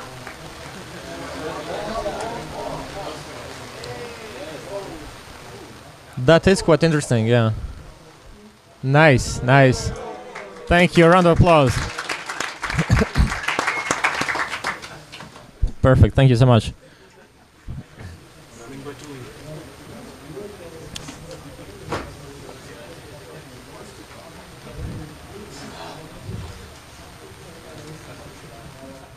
Okay, there's too much stuff in here. Let's uh, let's do this again. So I'm gonna run this. I'm gonna connect to an IP address so I know how to filter it later on. And that's it. I'm gonna stop the capture. Oh, and now when I know how to filter, it's not here. Okay, so one more cool feature of Wireshark that uh, even professionals out here may not use, may have forgotten or never knew, um, is how you can nicely filter. So, of course, here you can type in different expressions like TCP or UDP, right? But that's not what we want to do. Uh, what we can actually do is, if we choose any field here, for example, the destination address, and we right click it, what we can do is apply as filter selected. And we only get the matching packets where this field is set to this parameter. we want it we want to see both parts of the communication. We change that to IP address, not IP destination. Here is our three-way handshake. And I of course encourage you to follow through and, and also try to connect somewhere and capture it we can see that Wireshark has helpfully already selected, uh, I mean, highlighted the flags of TCP packets here, SYN, SYNACK, and ACK. But let's go in a bit deeper. So, Internet Protocol version 4, flags. Oh, sorry. Um, no, it's not not flags. Um. Oh, right. My bad. TCP, right. TCP, TCP flags. These are all the possible flags that you can set. Flags are actually two byte bytes large here on the left, you can see it. And uh, you can set any combination of flags in theory. Uh, in this case, you we have set the SYN flag, meaning it's a synchronization packet, meaning this IP address here wants to establish a connection to this IP address here on this specific port. Right. The thing I haven't mentioned about layer 4 are ports. Both UDP and TCP have ports, meaning those are channels for communication over the internet. We have the same IP address, we can have multiple services. Port 80 is typically used for web, so HTTP. Port 443 is typically used for HTTPS, so encrypted HTTP. Uh, source port is usually assigned randomly by the operating system, unless you specify it manually like we did with NC-P. Okay, um, so we got response here. It's, it has SYN and ACK set. And if we pay attention here, uh, those are relative sequ sequence numbers, not real ones. But uh, sequence number here set to 0. And in our reply here, acknowledgement number set to 1, meaning that packet 0 was successfully received by the server. And here, it's sending, again, it says 0, and we acknowledge it 1, saying, OK. And at this point, we can start exchanging data.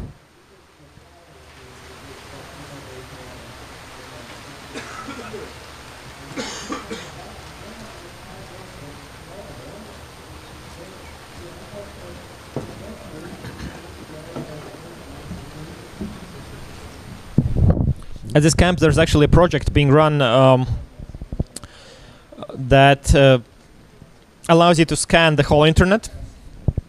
Uh, it's it's nothing new technically, but I mean the good thing is there's there's a guy who manages it and actually works with the requests you send in and, and runs the scan for you.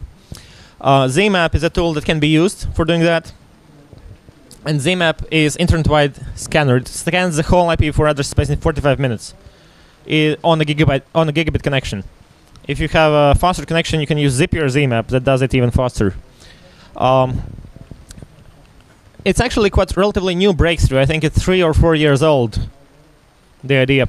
And it allows you to do that because you are not waiting for the reply. So how it works, simplistically, is it sends SYN packets and masses to all the IP addresses in a specific pseudo-random order. And it uses the metadata, the other parts of the TCP header, to mark that these packets, uh, that the replies to these packets would belong to the scan. And it doesn't store any information on your computer about what was sent where. All it stores is an index. How far are we in the list of IP addresses? And when the reply comes, it analyzes those that metadata included, and it can tell you if the port is open or not. So it's quite quite cool. I'm not gonna run it here because I don't have Ethernet connected, um, but it is it is a cool feature, and a way you can use knowledge of your, of networking to create cool stuff. Okay, routing. I mentioned that time to live is decreased with every hop, with every router that you cross. Routing decisions are taken based on the routing table. For your computer, usually you would have just a default gateway, just one router where all your information is sent to. For internet routers, it's not uncommon to have many different routes you send your data to, and routing table is used there to actually route the data to the correct path. Three types of routing static routing, default routing, and dynamic routing is what I want to talk about briefly here. Static routing entails manually setting up routes on each router. So let's say you are Google and you want to set up your routers. You connect to each of your of your routers, I guess, in the thousands, hundreds of thousands maybe, and you set up the routes by typing if IP address is in this network, send it to this router, which doesn't scale really well, but it's easy in the sense that you don't have to know much. Just have to understand basic stuff about IP networking. Default routing is when you set uh, i- if, is when you set the destination address to all zeros, and it includes the IP address that the IP address of the router that you want to send all the data to when you don't know where to send it. This is the only thing that is usually used on a laptop, uh, on on an end device, on a computer.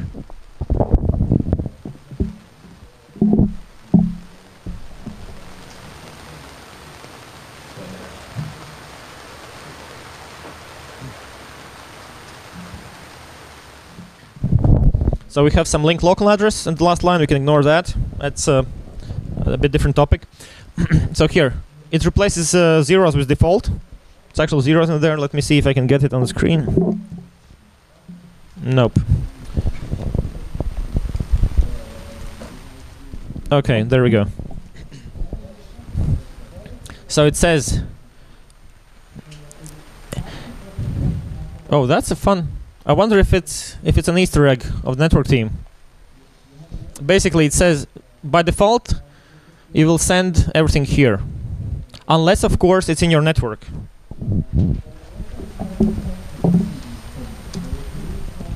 Lots of data here. We're only going to look at the wireless adapter. It has this internet address. This is the netmask slash 19 if the device can reach the IP address locally on the same network by using the mask that I showed half an hour earlier, it will send it directly. It will do an ARP request, ask for the MAC address, and send it away. If it can't, it will use the default route. What else do we have in the routing table here?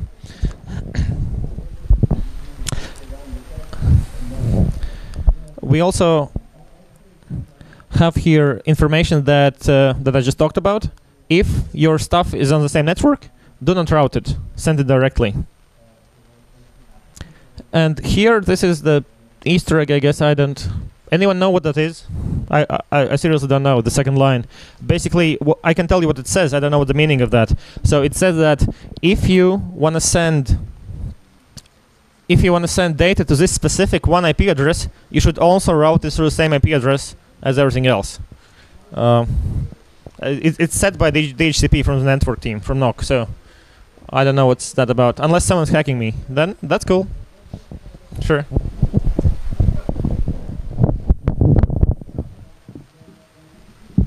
Okay, any questions here so far? One hour? Okay. Dynamic routing. That's the coolest way and basically the only way to do large scale network deployments. It dynamically updates the routing tables on the router using routing protocols. Um, so basically, two types you should know about. Just real quick because it is again a very in-depth thing, not suitable for a beginner's workshop. Uh, but uh, distance vector protocols determine that the route that uses the least number of routers is the best route to use. It just tries to dynamically find out what would be the number of hops to each network destination. Uh, some protocols there are RIP or IGRP. Um, SPF or link state protocols use digital metrics and they try to recreate the topology or uh, the picture of how all the network looks like visually on each router. They can also take network congestion into account when making routing decisions. Uh, for example, OSPF uh, would be uh, one of such protocols. And uh, these protocols are usually why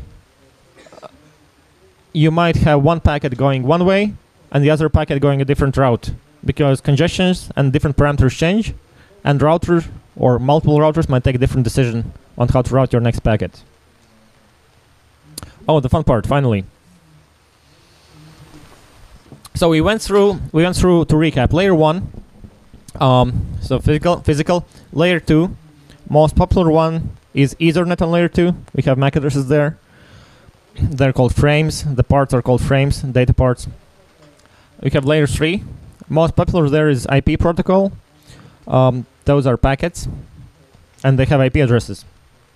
We have layer 4 um, which has segments. And we have UDP and TCP there and now we're up to application level protocols.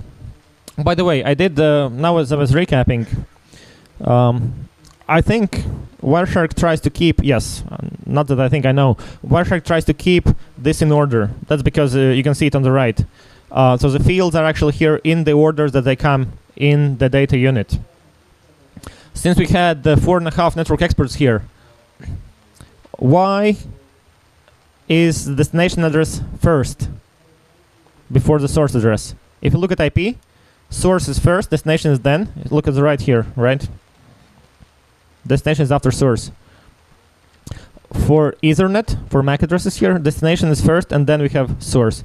It's it's not only first, it's actually the first byte, the first bit of the frame is already destination address.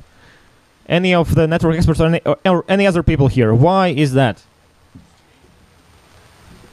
Okay, we had we hear we heard an answer speed. Could you elaborate more? Thank you. Very good. So the answer was uh, switch. When you switch, uh, so layer two device, when you try to understand which port to send the frame uh, through, switch can do fast forwarding. It can decide where to move the frame without actually looking at the whole frame. And it has to look at it from the beginning because electrical or whatever signals come, th- that's how it's ordered physically. And because we start with destination, there's not the MAC address, uh, not the source address. Switch can take a decision uh, dep- depending on the destination address without reading too much bytes from the packet, and it is much faster. And it's still quite important these days with all the speeds that we have.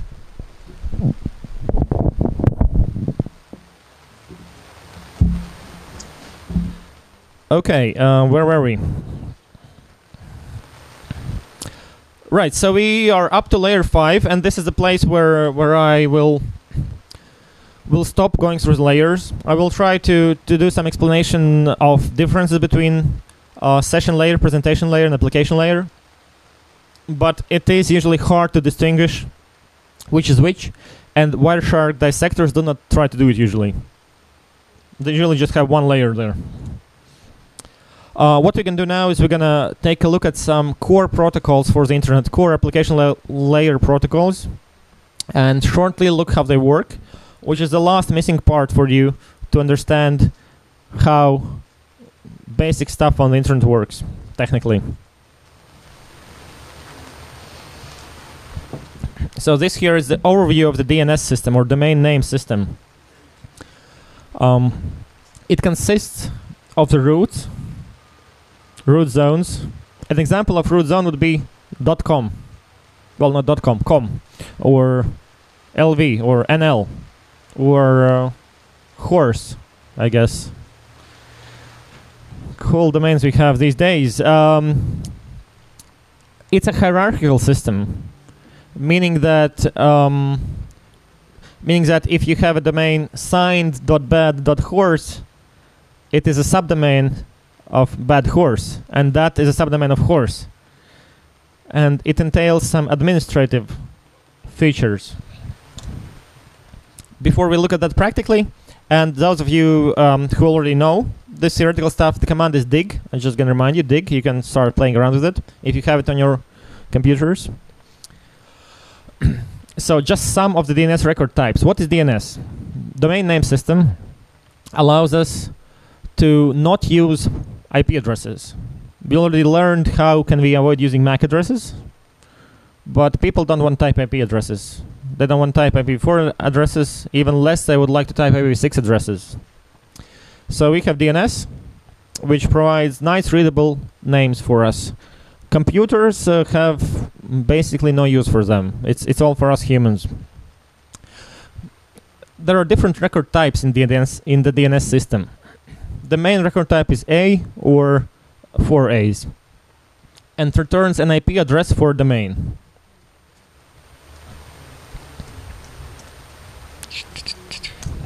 Okay, so if I dig A for SHA 200 2017 org, I will get the answer.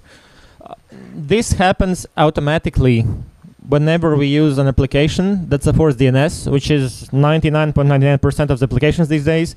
Uh, we just type in it in a browser or in an email program, and it will find the IP address for you automatically. For an email program, the procedure is a bit different. So for a browser, it will look for a record and will know this is the IP address I need to send my data to.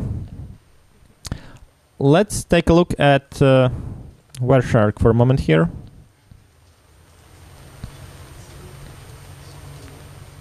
So if I, even if I just ping, which is just sending an ICMP packet to check if the IP is up, mm, it will still need to find out the IP address out from the name I typed here. So if I type DNS here, I will see a query here. It's asking for a record for gmail.com, and a response here. And it has given me here these answers. So these are four of the IP addresses that my computer can use to connect to gmail.com.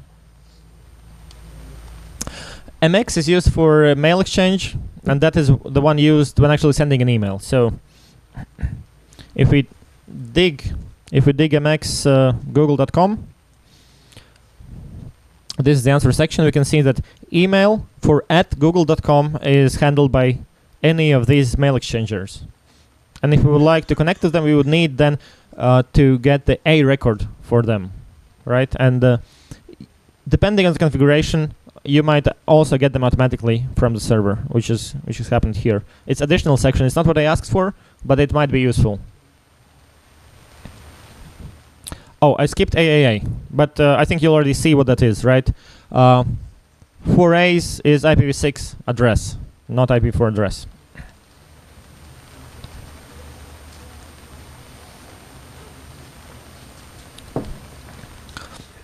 NS record is a name server record. It delegates a zone to use a specific server for lookups. Um, so here, for example, uh, every DNS resolver knows of 20-ish root servers. There are distributed all around the globe, but it's basically the one and only part of the internet that is actually the weakest link, uh, not really decentralized. Even though we have 20-ish of them, if a hacker, a bad actor, well, yeah, if a bad actor, right? Hackers are good. If a bad, a- seriously though, yeah, okay. If a bad actor were to take all of them down at the same time, DNS would not work globally. That's the centraliz- cent- centralization point there. Anyway, each of these servers know they know where to look up the first, the top level domains. So um, if we do dig NS sha2017.org, and if we ask this question to one of the root servers,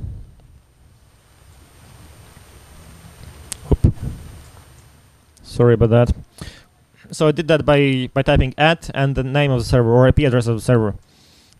All it will say to me, in this case, is which name servers are responsible for .org. Even if I ask not an S, but I ask, hey, I want the IP address of this, it will still give me only the same answer in authority section because the system is hierarchical. Those name servers do not know anything about this. Let's use uh, program.sha, which is a very dear address to me. Uh, today I spent uh, spent four hours trying to fix the the program CSS. Some people couldn't scroll to the right and didn't see tau and pi. Um, okay, so we can see the name servers, and what would automatically happen if we didn't specify a specific name server? It would then ask that one of randomly one of the next name servers the same question, and we would get an answer hopefully. If it would if it would not get an answer, it would try the next name server. Um, so we have an answer, and again, it's not our answer. It's just an authority section. It says, for this domain, ask any of these name servers. We take one at random. We ask the same question. There's our address. It's a CNAME record, canonical name, an alias. It says basically it says DNS for this is the same as DNS for this. And again, automatically server also sends me. By the way, you probably will wanna know the A for this, so here it is. So I don't have to ask it again. Yes. I see you're uh, CNAMing to an Apex domain. To, to what domain? Uh, to, uh, Yes, yes. that does not have a. Yes. That, uh, and uh, is that kosher, to put it nicely, or? Well, I'm not. I'm not the sysadmin. I'm the content team. So sysadmins are doing that. uh, but well, it it doesn't it doesn't have any it doesn't cause any technical difficulties as far as I could uh, imagine. So. Uh, I think it's fine. Now that you asked, I'm getting a bit suspicious about if it's fine to do that. Uh, but I, I would I would also do that if, if needed. Yeah, sure. I mean, unless you have really good reason to use a CNAME, uh, depending on your name server, it's better to use a record directly. Um, but uh, yeah, you can use it. Why why you could avoid CNAME in this situation is because it's on the same domain. This zone, uh, the server holding this zone knows the IP address. You can send directly. Depending on the server, you might force your DNS client to make a separate request. If I wouldn't have this line here, I would have uh, my, my I would have to now do do this to get the IP address, which is bad. Yes. Sorry, I should have clarified. I just noticed uh, what address you're querying. I think it's not fine to do this when you're doing a CNAME from a for a different domain. So let's say you are uh, doing a CNAME for uh, OHM, and then you CNAME to SHA. But I'm not really sure. Thank you. Uh, so your your comment was that uh, you think it's not okay to do that if CNAME goes to a different uh, upper domain. Yeah. So that's uh, that's what you said. Um, well, that's actually this this thing when you put CNAME to a different upper domain, um, say to Google.com, uh, is actually the uh, uh, the only real use for CNAMEs.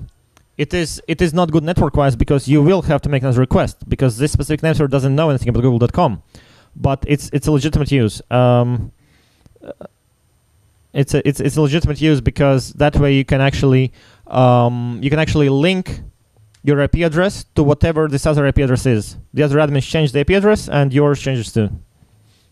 Unless you want to delegate the whole zone using an S record. Now we have exactly one hour left. Thank you. One hour left. Okay. PTR is a pointer. Unlike CNAME, which we already discussed here, um, PTR would stop the processing, meaning that it's basically a kind of text record. Not exactly, but it returns just the name. PTR most commonly are used in reverse DNS. So when we did this trace route, mm, tracepath, bad horse you you can notice that we get uh, names here. But if you watched carefully, trace route uses this TTL trick, and those are IP addresses, of course. We are getting answer from an IP address, not a domain name. What that means is that this some, somehow this gets here. If we run run tracepath minus n, it doesn't do DNS queries. We can see all the IP addresses here, and what it does is actually looks for reverse DNS for every IP address. Um, you can also do it like that, right? You can you can take this, which is just IP address with all the bytes in reverse order. You can dig it, and here it is. It just it's just a string basically. If you if you just dig it, uh, dig any to still return it, it, it would not try to resolve it. And that, of course, means that you can type any domain you want in there if you have DNS server. Are all of those IP addresses uh, public? Uh, yes. But it's, oh, I mean, yeah, it is hard to get IPv4, IPv4 addresses now. Uh, I, when I was running a large network, uh, I think I just got uh, around 500 IPs just because of downtime. I, I, I emailed them and said, come on, what's up with downtime every week? And they said, okay, okay, don't be angry. Here's 500 IP for addresses. And now I have them. But this is, Bad Horse isn't mine. It's, it's someone else. Um, okay, so we already looked at dig. This is a reference slide that you can use. Um, any is a pseudo record. It's not real record. It just asks server to send all the records it has. AXFR is authoritative transfer. Um, and it asks to send all the subdomains that the server knows. Usually this is turned off. There was this one or, or maybe two times when a top level domain, like dot something, didn't turn this off and, and some researchers just downloaded all the domains of a country.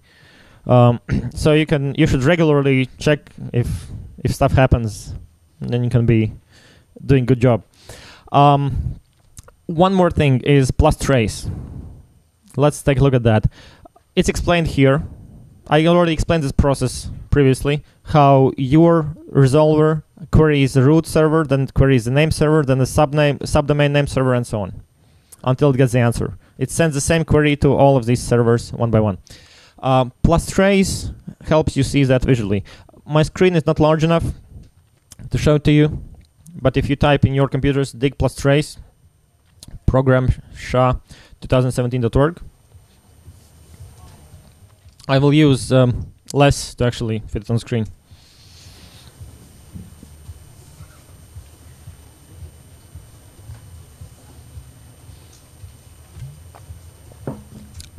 Not a good idea, I guess.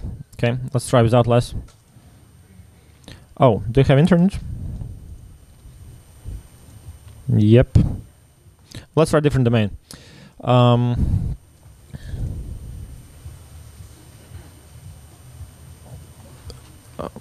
okay, maybe maybe I messed up. Sorry. Let's let's put in the right place. I don't think it matters, but maybe it does.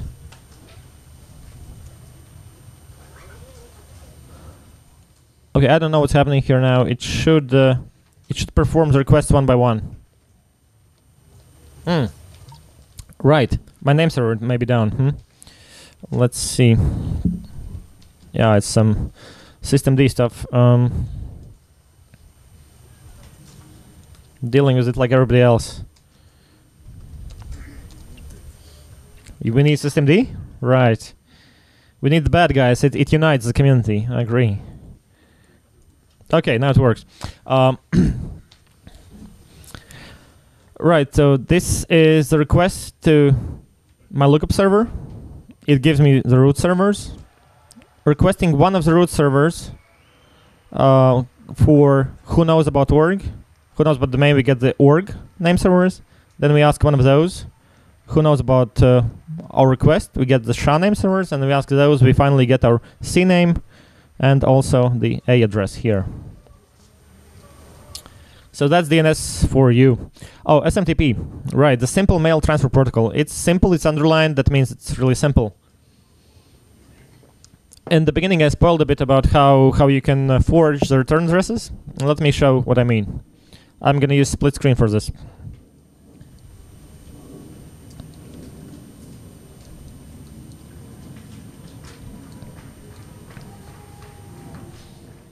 Okay. now let's say we would like to send an email to me. My domain is kirils.org. So my mail application, let's say it's a classical mail application, right? Outlook. um, would look up the mail exchanger for kirils.org, the domain of my email. There it is. And then we need the IP address for that, technically. And there it is. What happens next is, uh, let me see if I have slides actually in the deck. Oh yeah, I have slides. Let me show you the slides first. What happens next is your computer connects to SMTP server. It's port 25. That's a well-known port. It gets greeted with uh, hello 220. you reply with hello and your domain name. Um, you get an OK 250. You say who the mail is from, like some address that the mail from. This is the envelope address. Um, you say who the mail is to. Again, you get OK. Then you send data, and then you send the email body with all the headers. Now, this here, this part here, starting from from up to subject, could theoretically be described as presentation layer, so layer six, technically. Uh, but if you don't describe that and call it whole application layer, it's not a big mistake. It, it, it's uh, quite an academic debate between those three layers. Anyway, you send that. This will be parsed by the email client, not the email server. And that's it. It says, uh, OK, 250. And you quit, and it says, bye-bye, 221. Um, so let's take a look at demo here.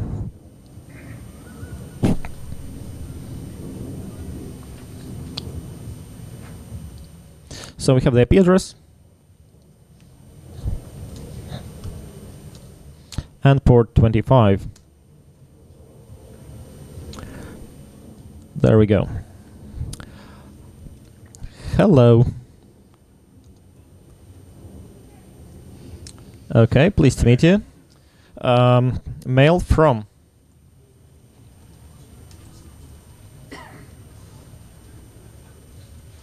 Okay. Oh, domain doesn't exist. White hose. Oh, my bad. So some servers check more, some servers check less of what you actually type. Ah, boom. Sender okay. Good. Uh, recipient.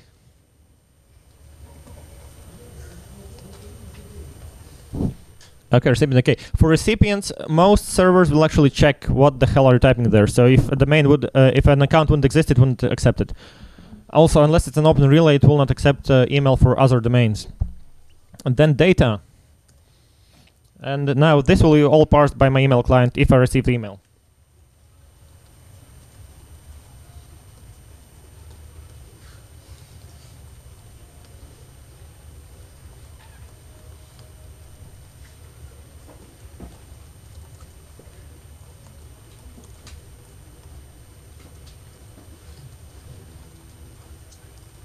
Perhaps make it bigger so we can see it. Uh, let me try.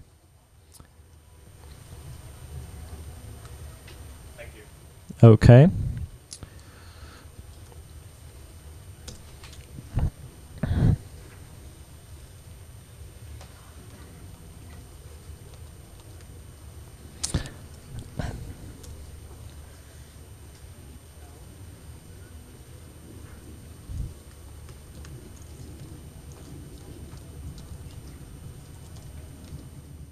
And you finish the dot on line by itself as it's actually said here in the message.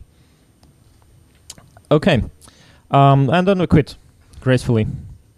That's basically it. Now let me fire my email client and hope that it doesn't go on screen. Okay, it's it's on my screen. That's a good sign. And uh, oh look, I have an email. It's not in spam because my spam filters suck. Um, I'm gonna open it up for you and move it to the screen. Uh, to the main screen.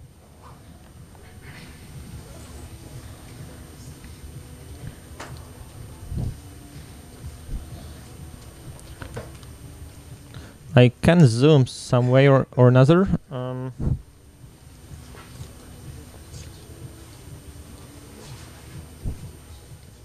okay, whatever. Let's look at uh, at headers.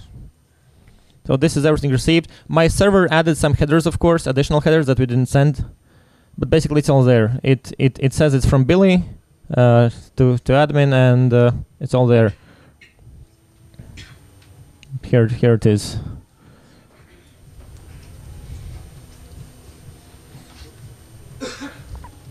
Okay, so that's SMTP demo.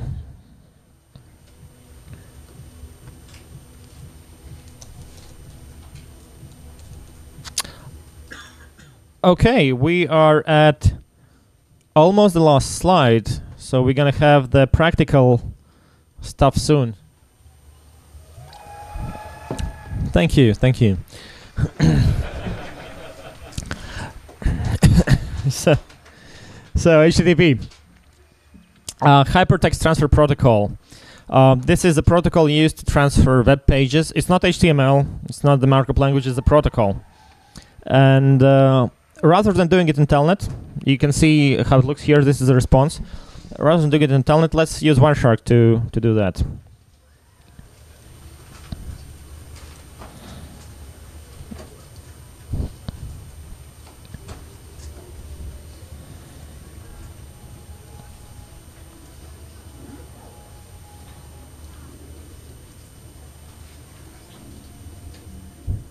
Okay. Um, so let's run this and let's open a web page. There we go. Remove the filter. If you filter for HTTP, we have this request here.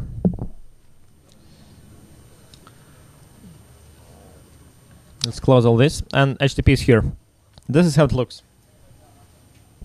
So we have a get request here, meaning uh, open this page, and uh, this is page address. So basically, part of URL. It says open the main page, just slash. If I would ask uh, some google.com slash one two three, it would say slash one two three here. Uh, there's a host name and some headers that identify your user agent and so on. So if you want to hide, then uh, take note of that. And the response. And here's a cool trick for Wireshark. Press here on the packet and um, follow HTTP stream. And we have the stream, we have the request and the reply at the same in the same view. And what's even better, if we close it, we can see all the stream packets here visible.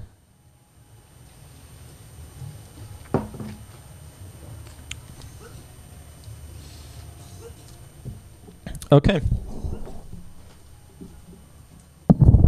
Now, what I usually do here with the group, and uh, this is a small part of a five-day uh, five-day workshop that I do commercially. Actually, um, what I do here with the group usually is I, I get everybody to launch their Wireshark and open up a web page. It's better if it's HTTP website, website, so not encrypted. Just launch Wireshark, close your browser, open it up again, open up a website, and then we'll take a look at what we see.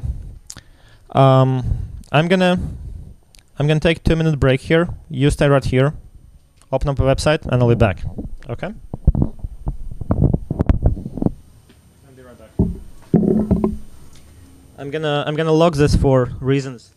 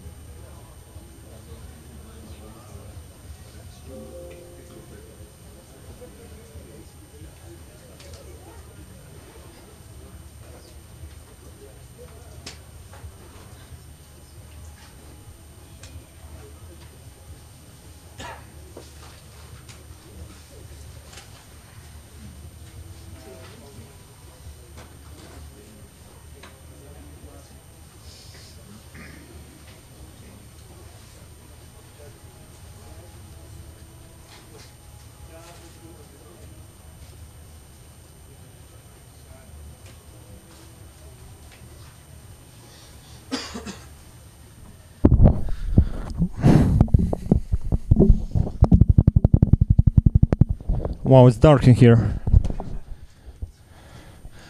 Oh man, now you can see it. Hold on, let me let me make sure it doesn't show the password on screen. no, for the real thing. okay, so many of you are still here, which is uh, cool. Thank you for that. So, I hope you managed. If you didn't, are there any questions before I show you it on my laptop? the thing I want you to answer for yourself here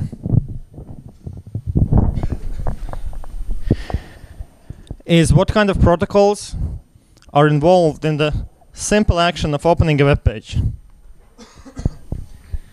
Of just typing in an address and pressing enter. Okay, here DNS TCP.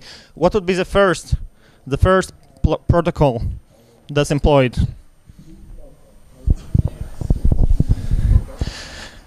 DNS, yes, DNS is the one you might see in Wireshark because you've been using the internet, or at least your computer has been using the internet.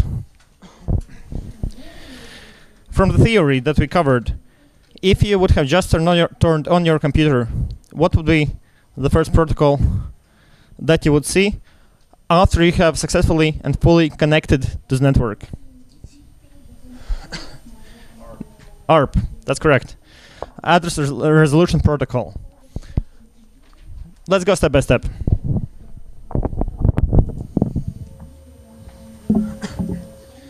And um, I'll try to simulate here that my computer is just has just been turned on.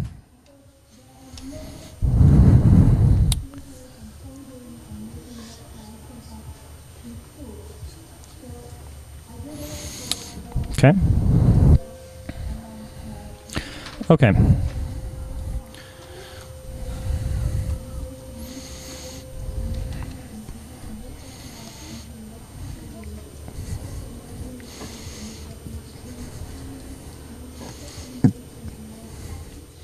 So I'm deleting some ARP addresses here.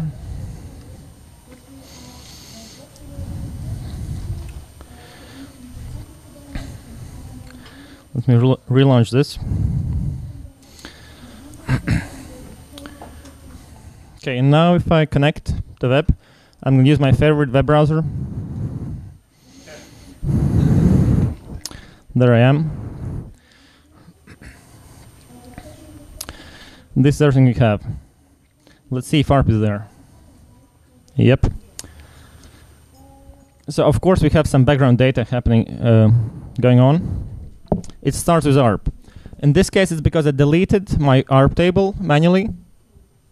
But it what really happens when you start up your computer and connect to the network afterwards. so the full explanation for this is that I typed in the domain 02.lv. My computer knows that the DNS server to use is 8888 because I put it in there manually. Now it tries to connect, it tries to do the DNS. It tries to connect to 8888. To do that, it looks at the routing table. It all happens in the background instantly. It checks the destination addresses ordered by the mask. It starts with the most, with the largest mask, and goes to, lo- to the lower masks. 8888 doesn't match any of the networks. So it goes to the most generic mask, and it will send the IP packet to this IP address for routing. In order to do that, computer now looks at the ARP table. ARP table was empty at the moment. So computer finally sends the first packet. It asks who has this IP address, which is the gateway's address. It's here.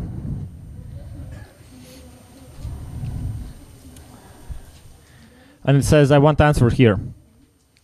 The router, which is made by Juniper by the way, um, how this works, of course, by using employing a database. Remember, first three bytes are assigned to an organization, and they're trackable that way. It replies, "I'm here. This is my MAC address. You can contact me there." ARP table gets populated by this information. And now, for some period of time, depending on the operating system, the length depends on the operating system, my computer will know that this is a MAC address for that IP address. now it can finally send the request to 8888. It asks, what is the IP address for 02.lv? And what is the IP6 address for 02.lv? And it gets a response. Now what we will see here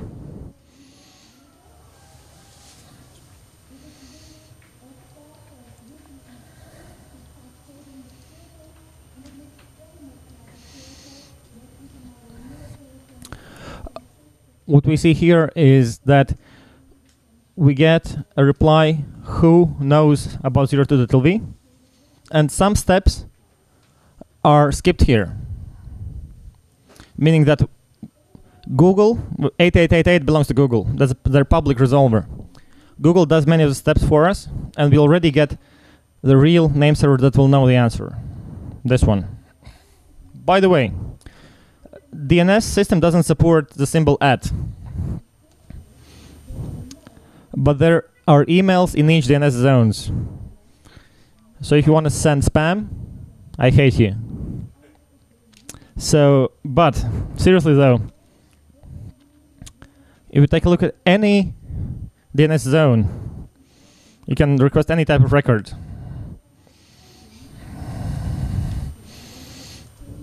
And if it's set up correctly, oh, we should we should request start. Sorry, we should request start of authority. We can't request any type of record. If it's set up correctly, the second entry here will be the email address. First dot gets replaced by at.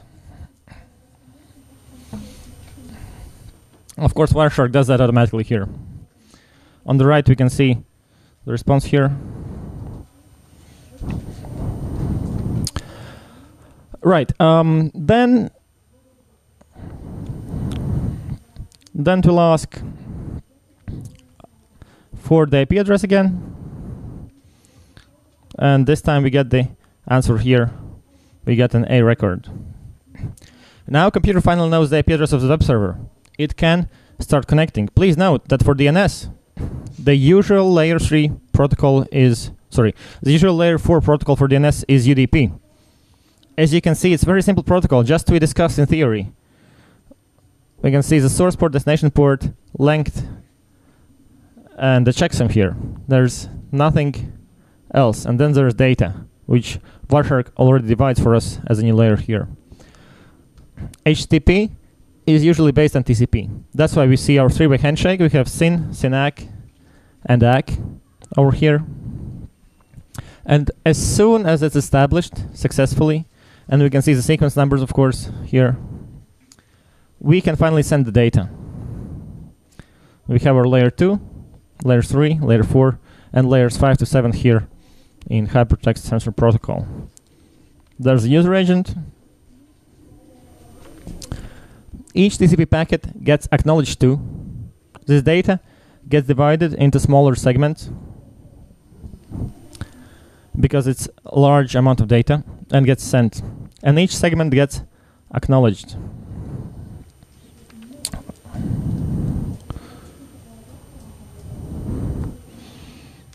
Here it says that we have acknowledged flag set. Server receives it and finally sends the answer. This is reassembled. On the on the wire, you actually see all the separate TCP packets here. Wireshark does it for you. It assembles it back to a response. In the end, server says, please close the connection, fin, and we have handshake for closing. It's acknowledged and it's finally closed. Um, this was some retransmission. It looks like more an attack to me, so it's a hacker network, right? People are attacking stuff. Um, okay, so this is this is it. That's that. Uh, it's a bit dark to do some of the some of the hands-on demos. Let me show you the last slide. I I worked uh, I worked for two hours on the effect, so look closely, you might miss it. Cool, isn't it?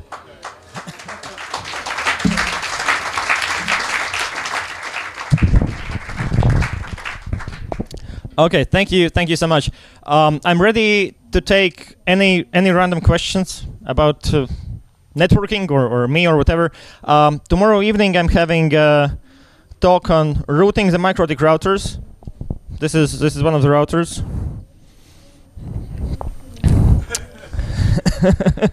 yeah, hard to see. Okay. Yeah, well, that's that's that's a pity. Anyway, so we're gonna we I'm gonna talk about jailbreaking these these boxes because you don't get root on them by default. Uh, it's gonna be in, in in no in the large tent. Um, so yeah, if you have any questions about networking, I'm here. If you want to take a look at some of the simplistic hardware I have here, you can come and come and take a look at it. It's nothing it's nothing fancy. I didn't take uh, Wi-Fi pineapple with me, for example, which is a cool, easy to use device for screwing with people's Wi-Fi. So yes, any any questions here? Can you download the slides and stuff? Yes, uh, you will be able to download these slides over here, uh, depending on how much work I have tomorrow. Uh, probably on uh, Wednesday. On Wednesday, go there. There will be slides. Yes. Is it possible for network traffic to not show up in Wireshark? The question is: Is it possible for network traffic to not show up in Wireshark? This regards capturing. So depending on how you capture, um, if you set promiscuous mode, all the if you successfully set it and the driver supports it, all the traffic, all the signals that physically reach your network adapter and are legible, are understandable on, on in layer one sense, will show up on Wireshark.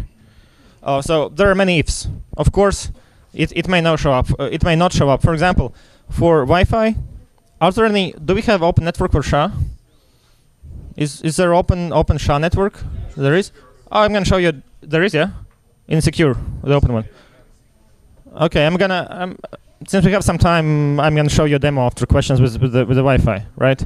A small demo, uh, not not the whole thing, uh, just just to show you how it works. But for the Wi-Fi, for Wi-Fi, for example, uh, for normal network cards, you have to choose the channel, basically the the center frequency, meaning that you will probably not see the other frequencies at the same time. So there are different ifs to, to that. Yes, it is possible to, for that to not show up. Yeah, I noticed this uh, 169.254 um, traffic doesn't really show up. Wireshark, it's Apple Bonjour on the Mac. Uh, I would I would doubt that there is any traffic. It's it's a link local address, and it would not usually show up. Uh, I mean, i there's usually nothing happening there. That's that's what I'm saying. Uh, but uh, one more thing is you have all these interfaces, and similarly to as in IP, we have loopback address 127.00.1. We also have a loopback interface on Linux and Unix machines, and loopback data would show there. So if you would do ping 127001, you would not see it on your Ethernet or, or WLAN. You would see it on the loopback only. Uh, where was the next question? Yeah. Uh?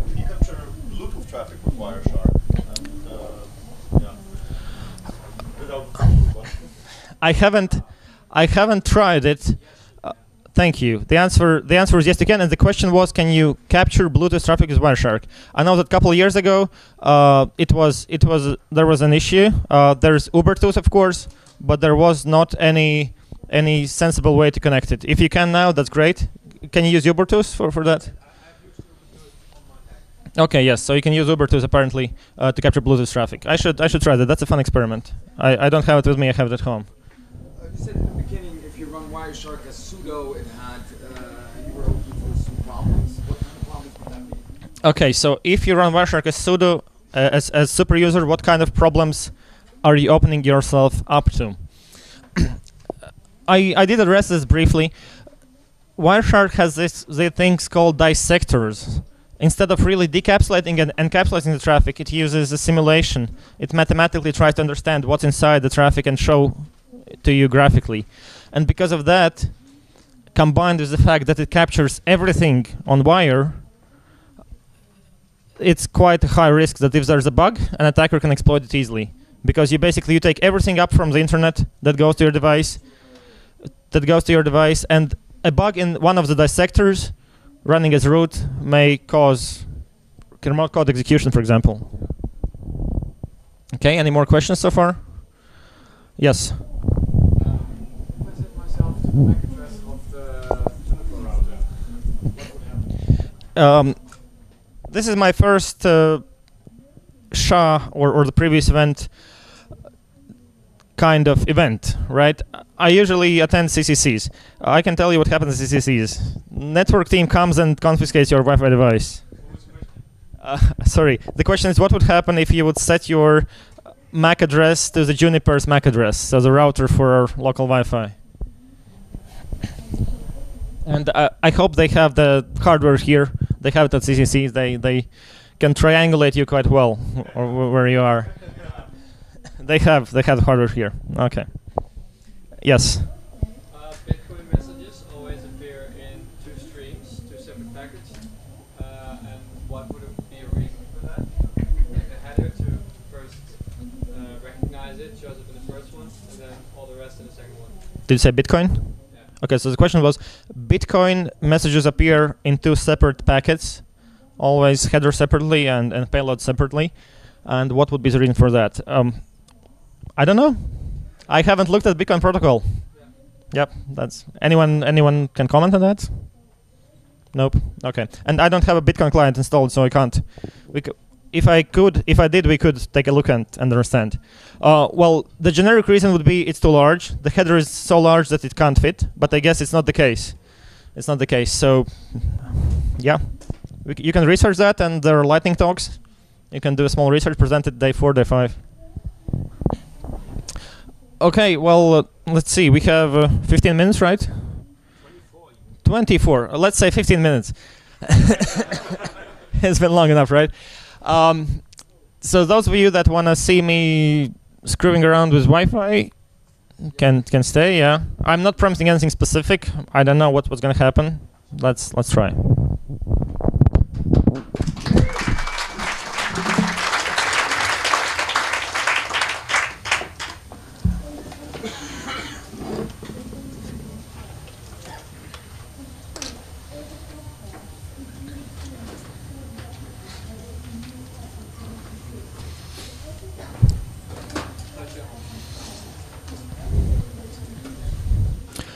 Okay, so here's my new Wi-Fi adapter.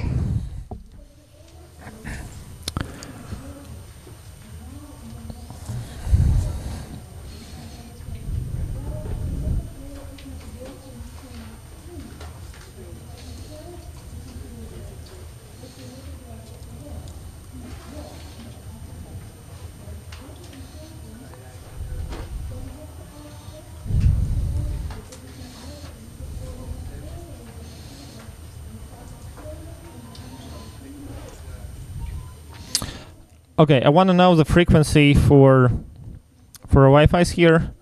To do that, let me use Kismet, I guess. It's an old tool. I hope it doesn't have any bugs. If it does, I'm screwed.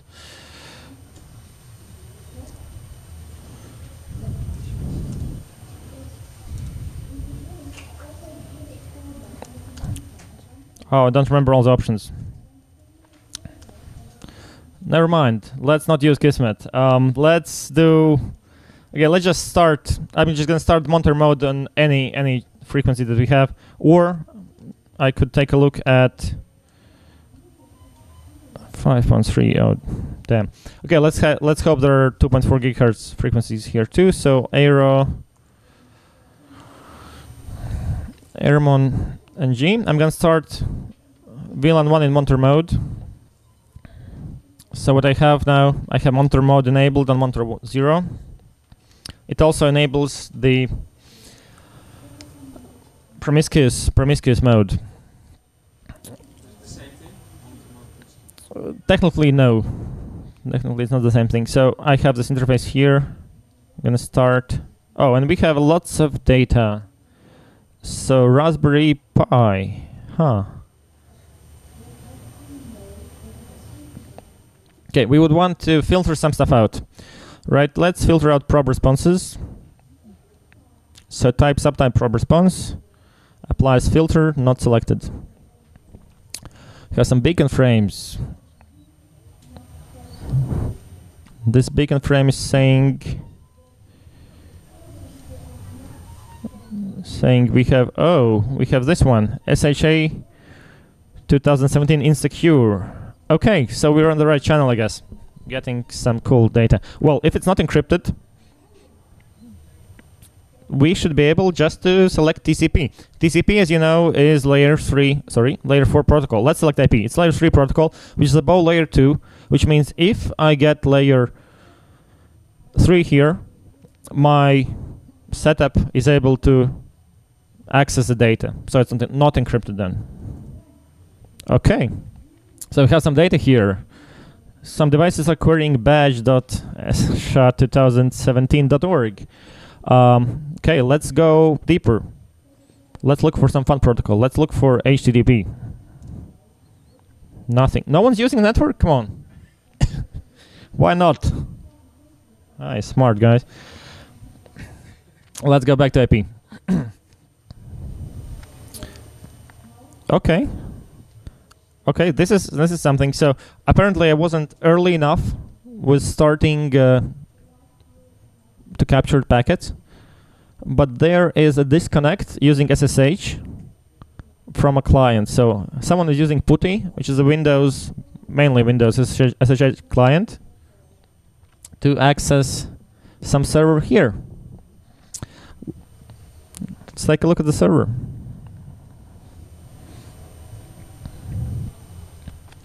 So disconnect was sent by. I'm not sure who sends this kind of message. Is it sent? What is that? Server is. Server sends a disconnect. Okay, let's try. Oh, we can we can tell it by the port, right? For SSH we have a TCP on top. TCP shows us the port to 22 is the well-known port for SSH, so the destination in this case was the server. So client sent the disconnect. Um, okay, so this is the server. Let's see if it has a reverse hostname set up. Technically, we can also copy it. It's not useful for small things like IP addresses. For larger, you use copy, and then you select the right selection of these things. Printable text, I think, will work this time. Nope, value was the right answer. Yep. Okay, there's nothing there.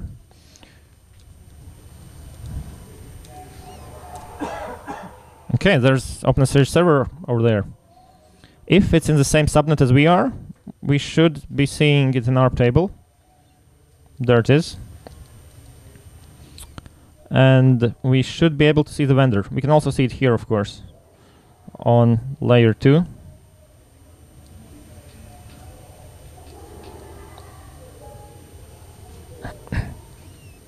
Jolla, whatever that is. Okay, this wasn't fun. Sorry for that. What else do we have here? Oh, someone is trying to use TLS, which may be HTTPS here.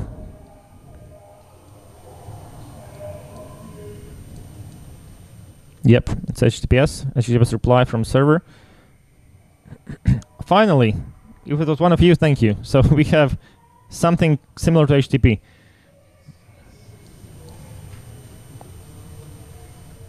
And some DNS.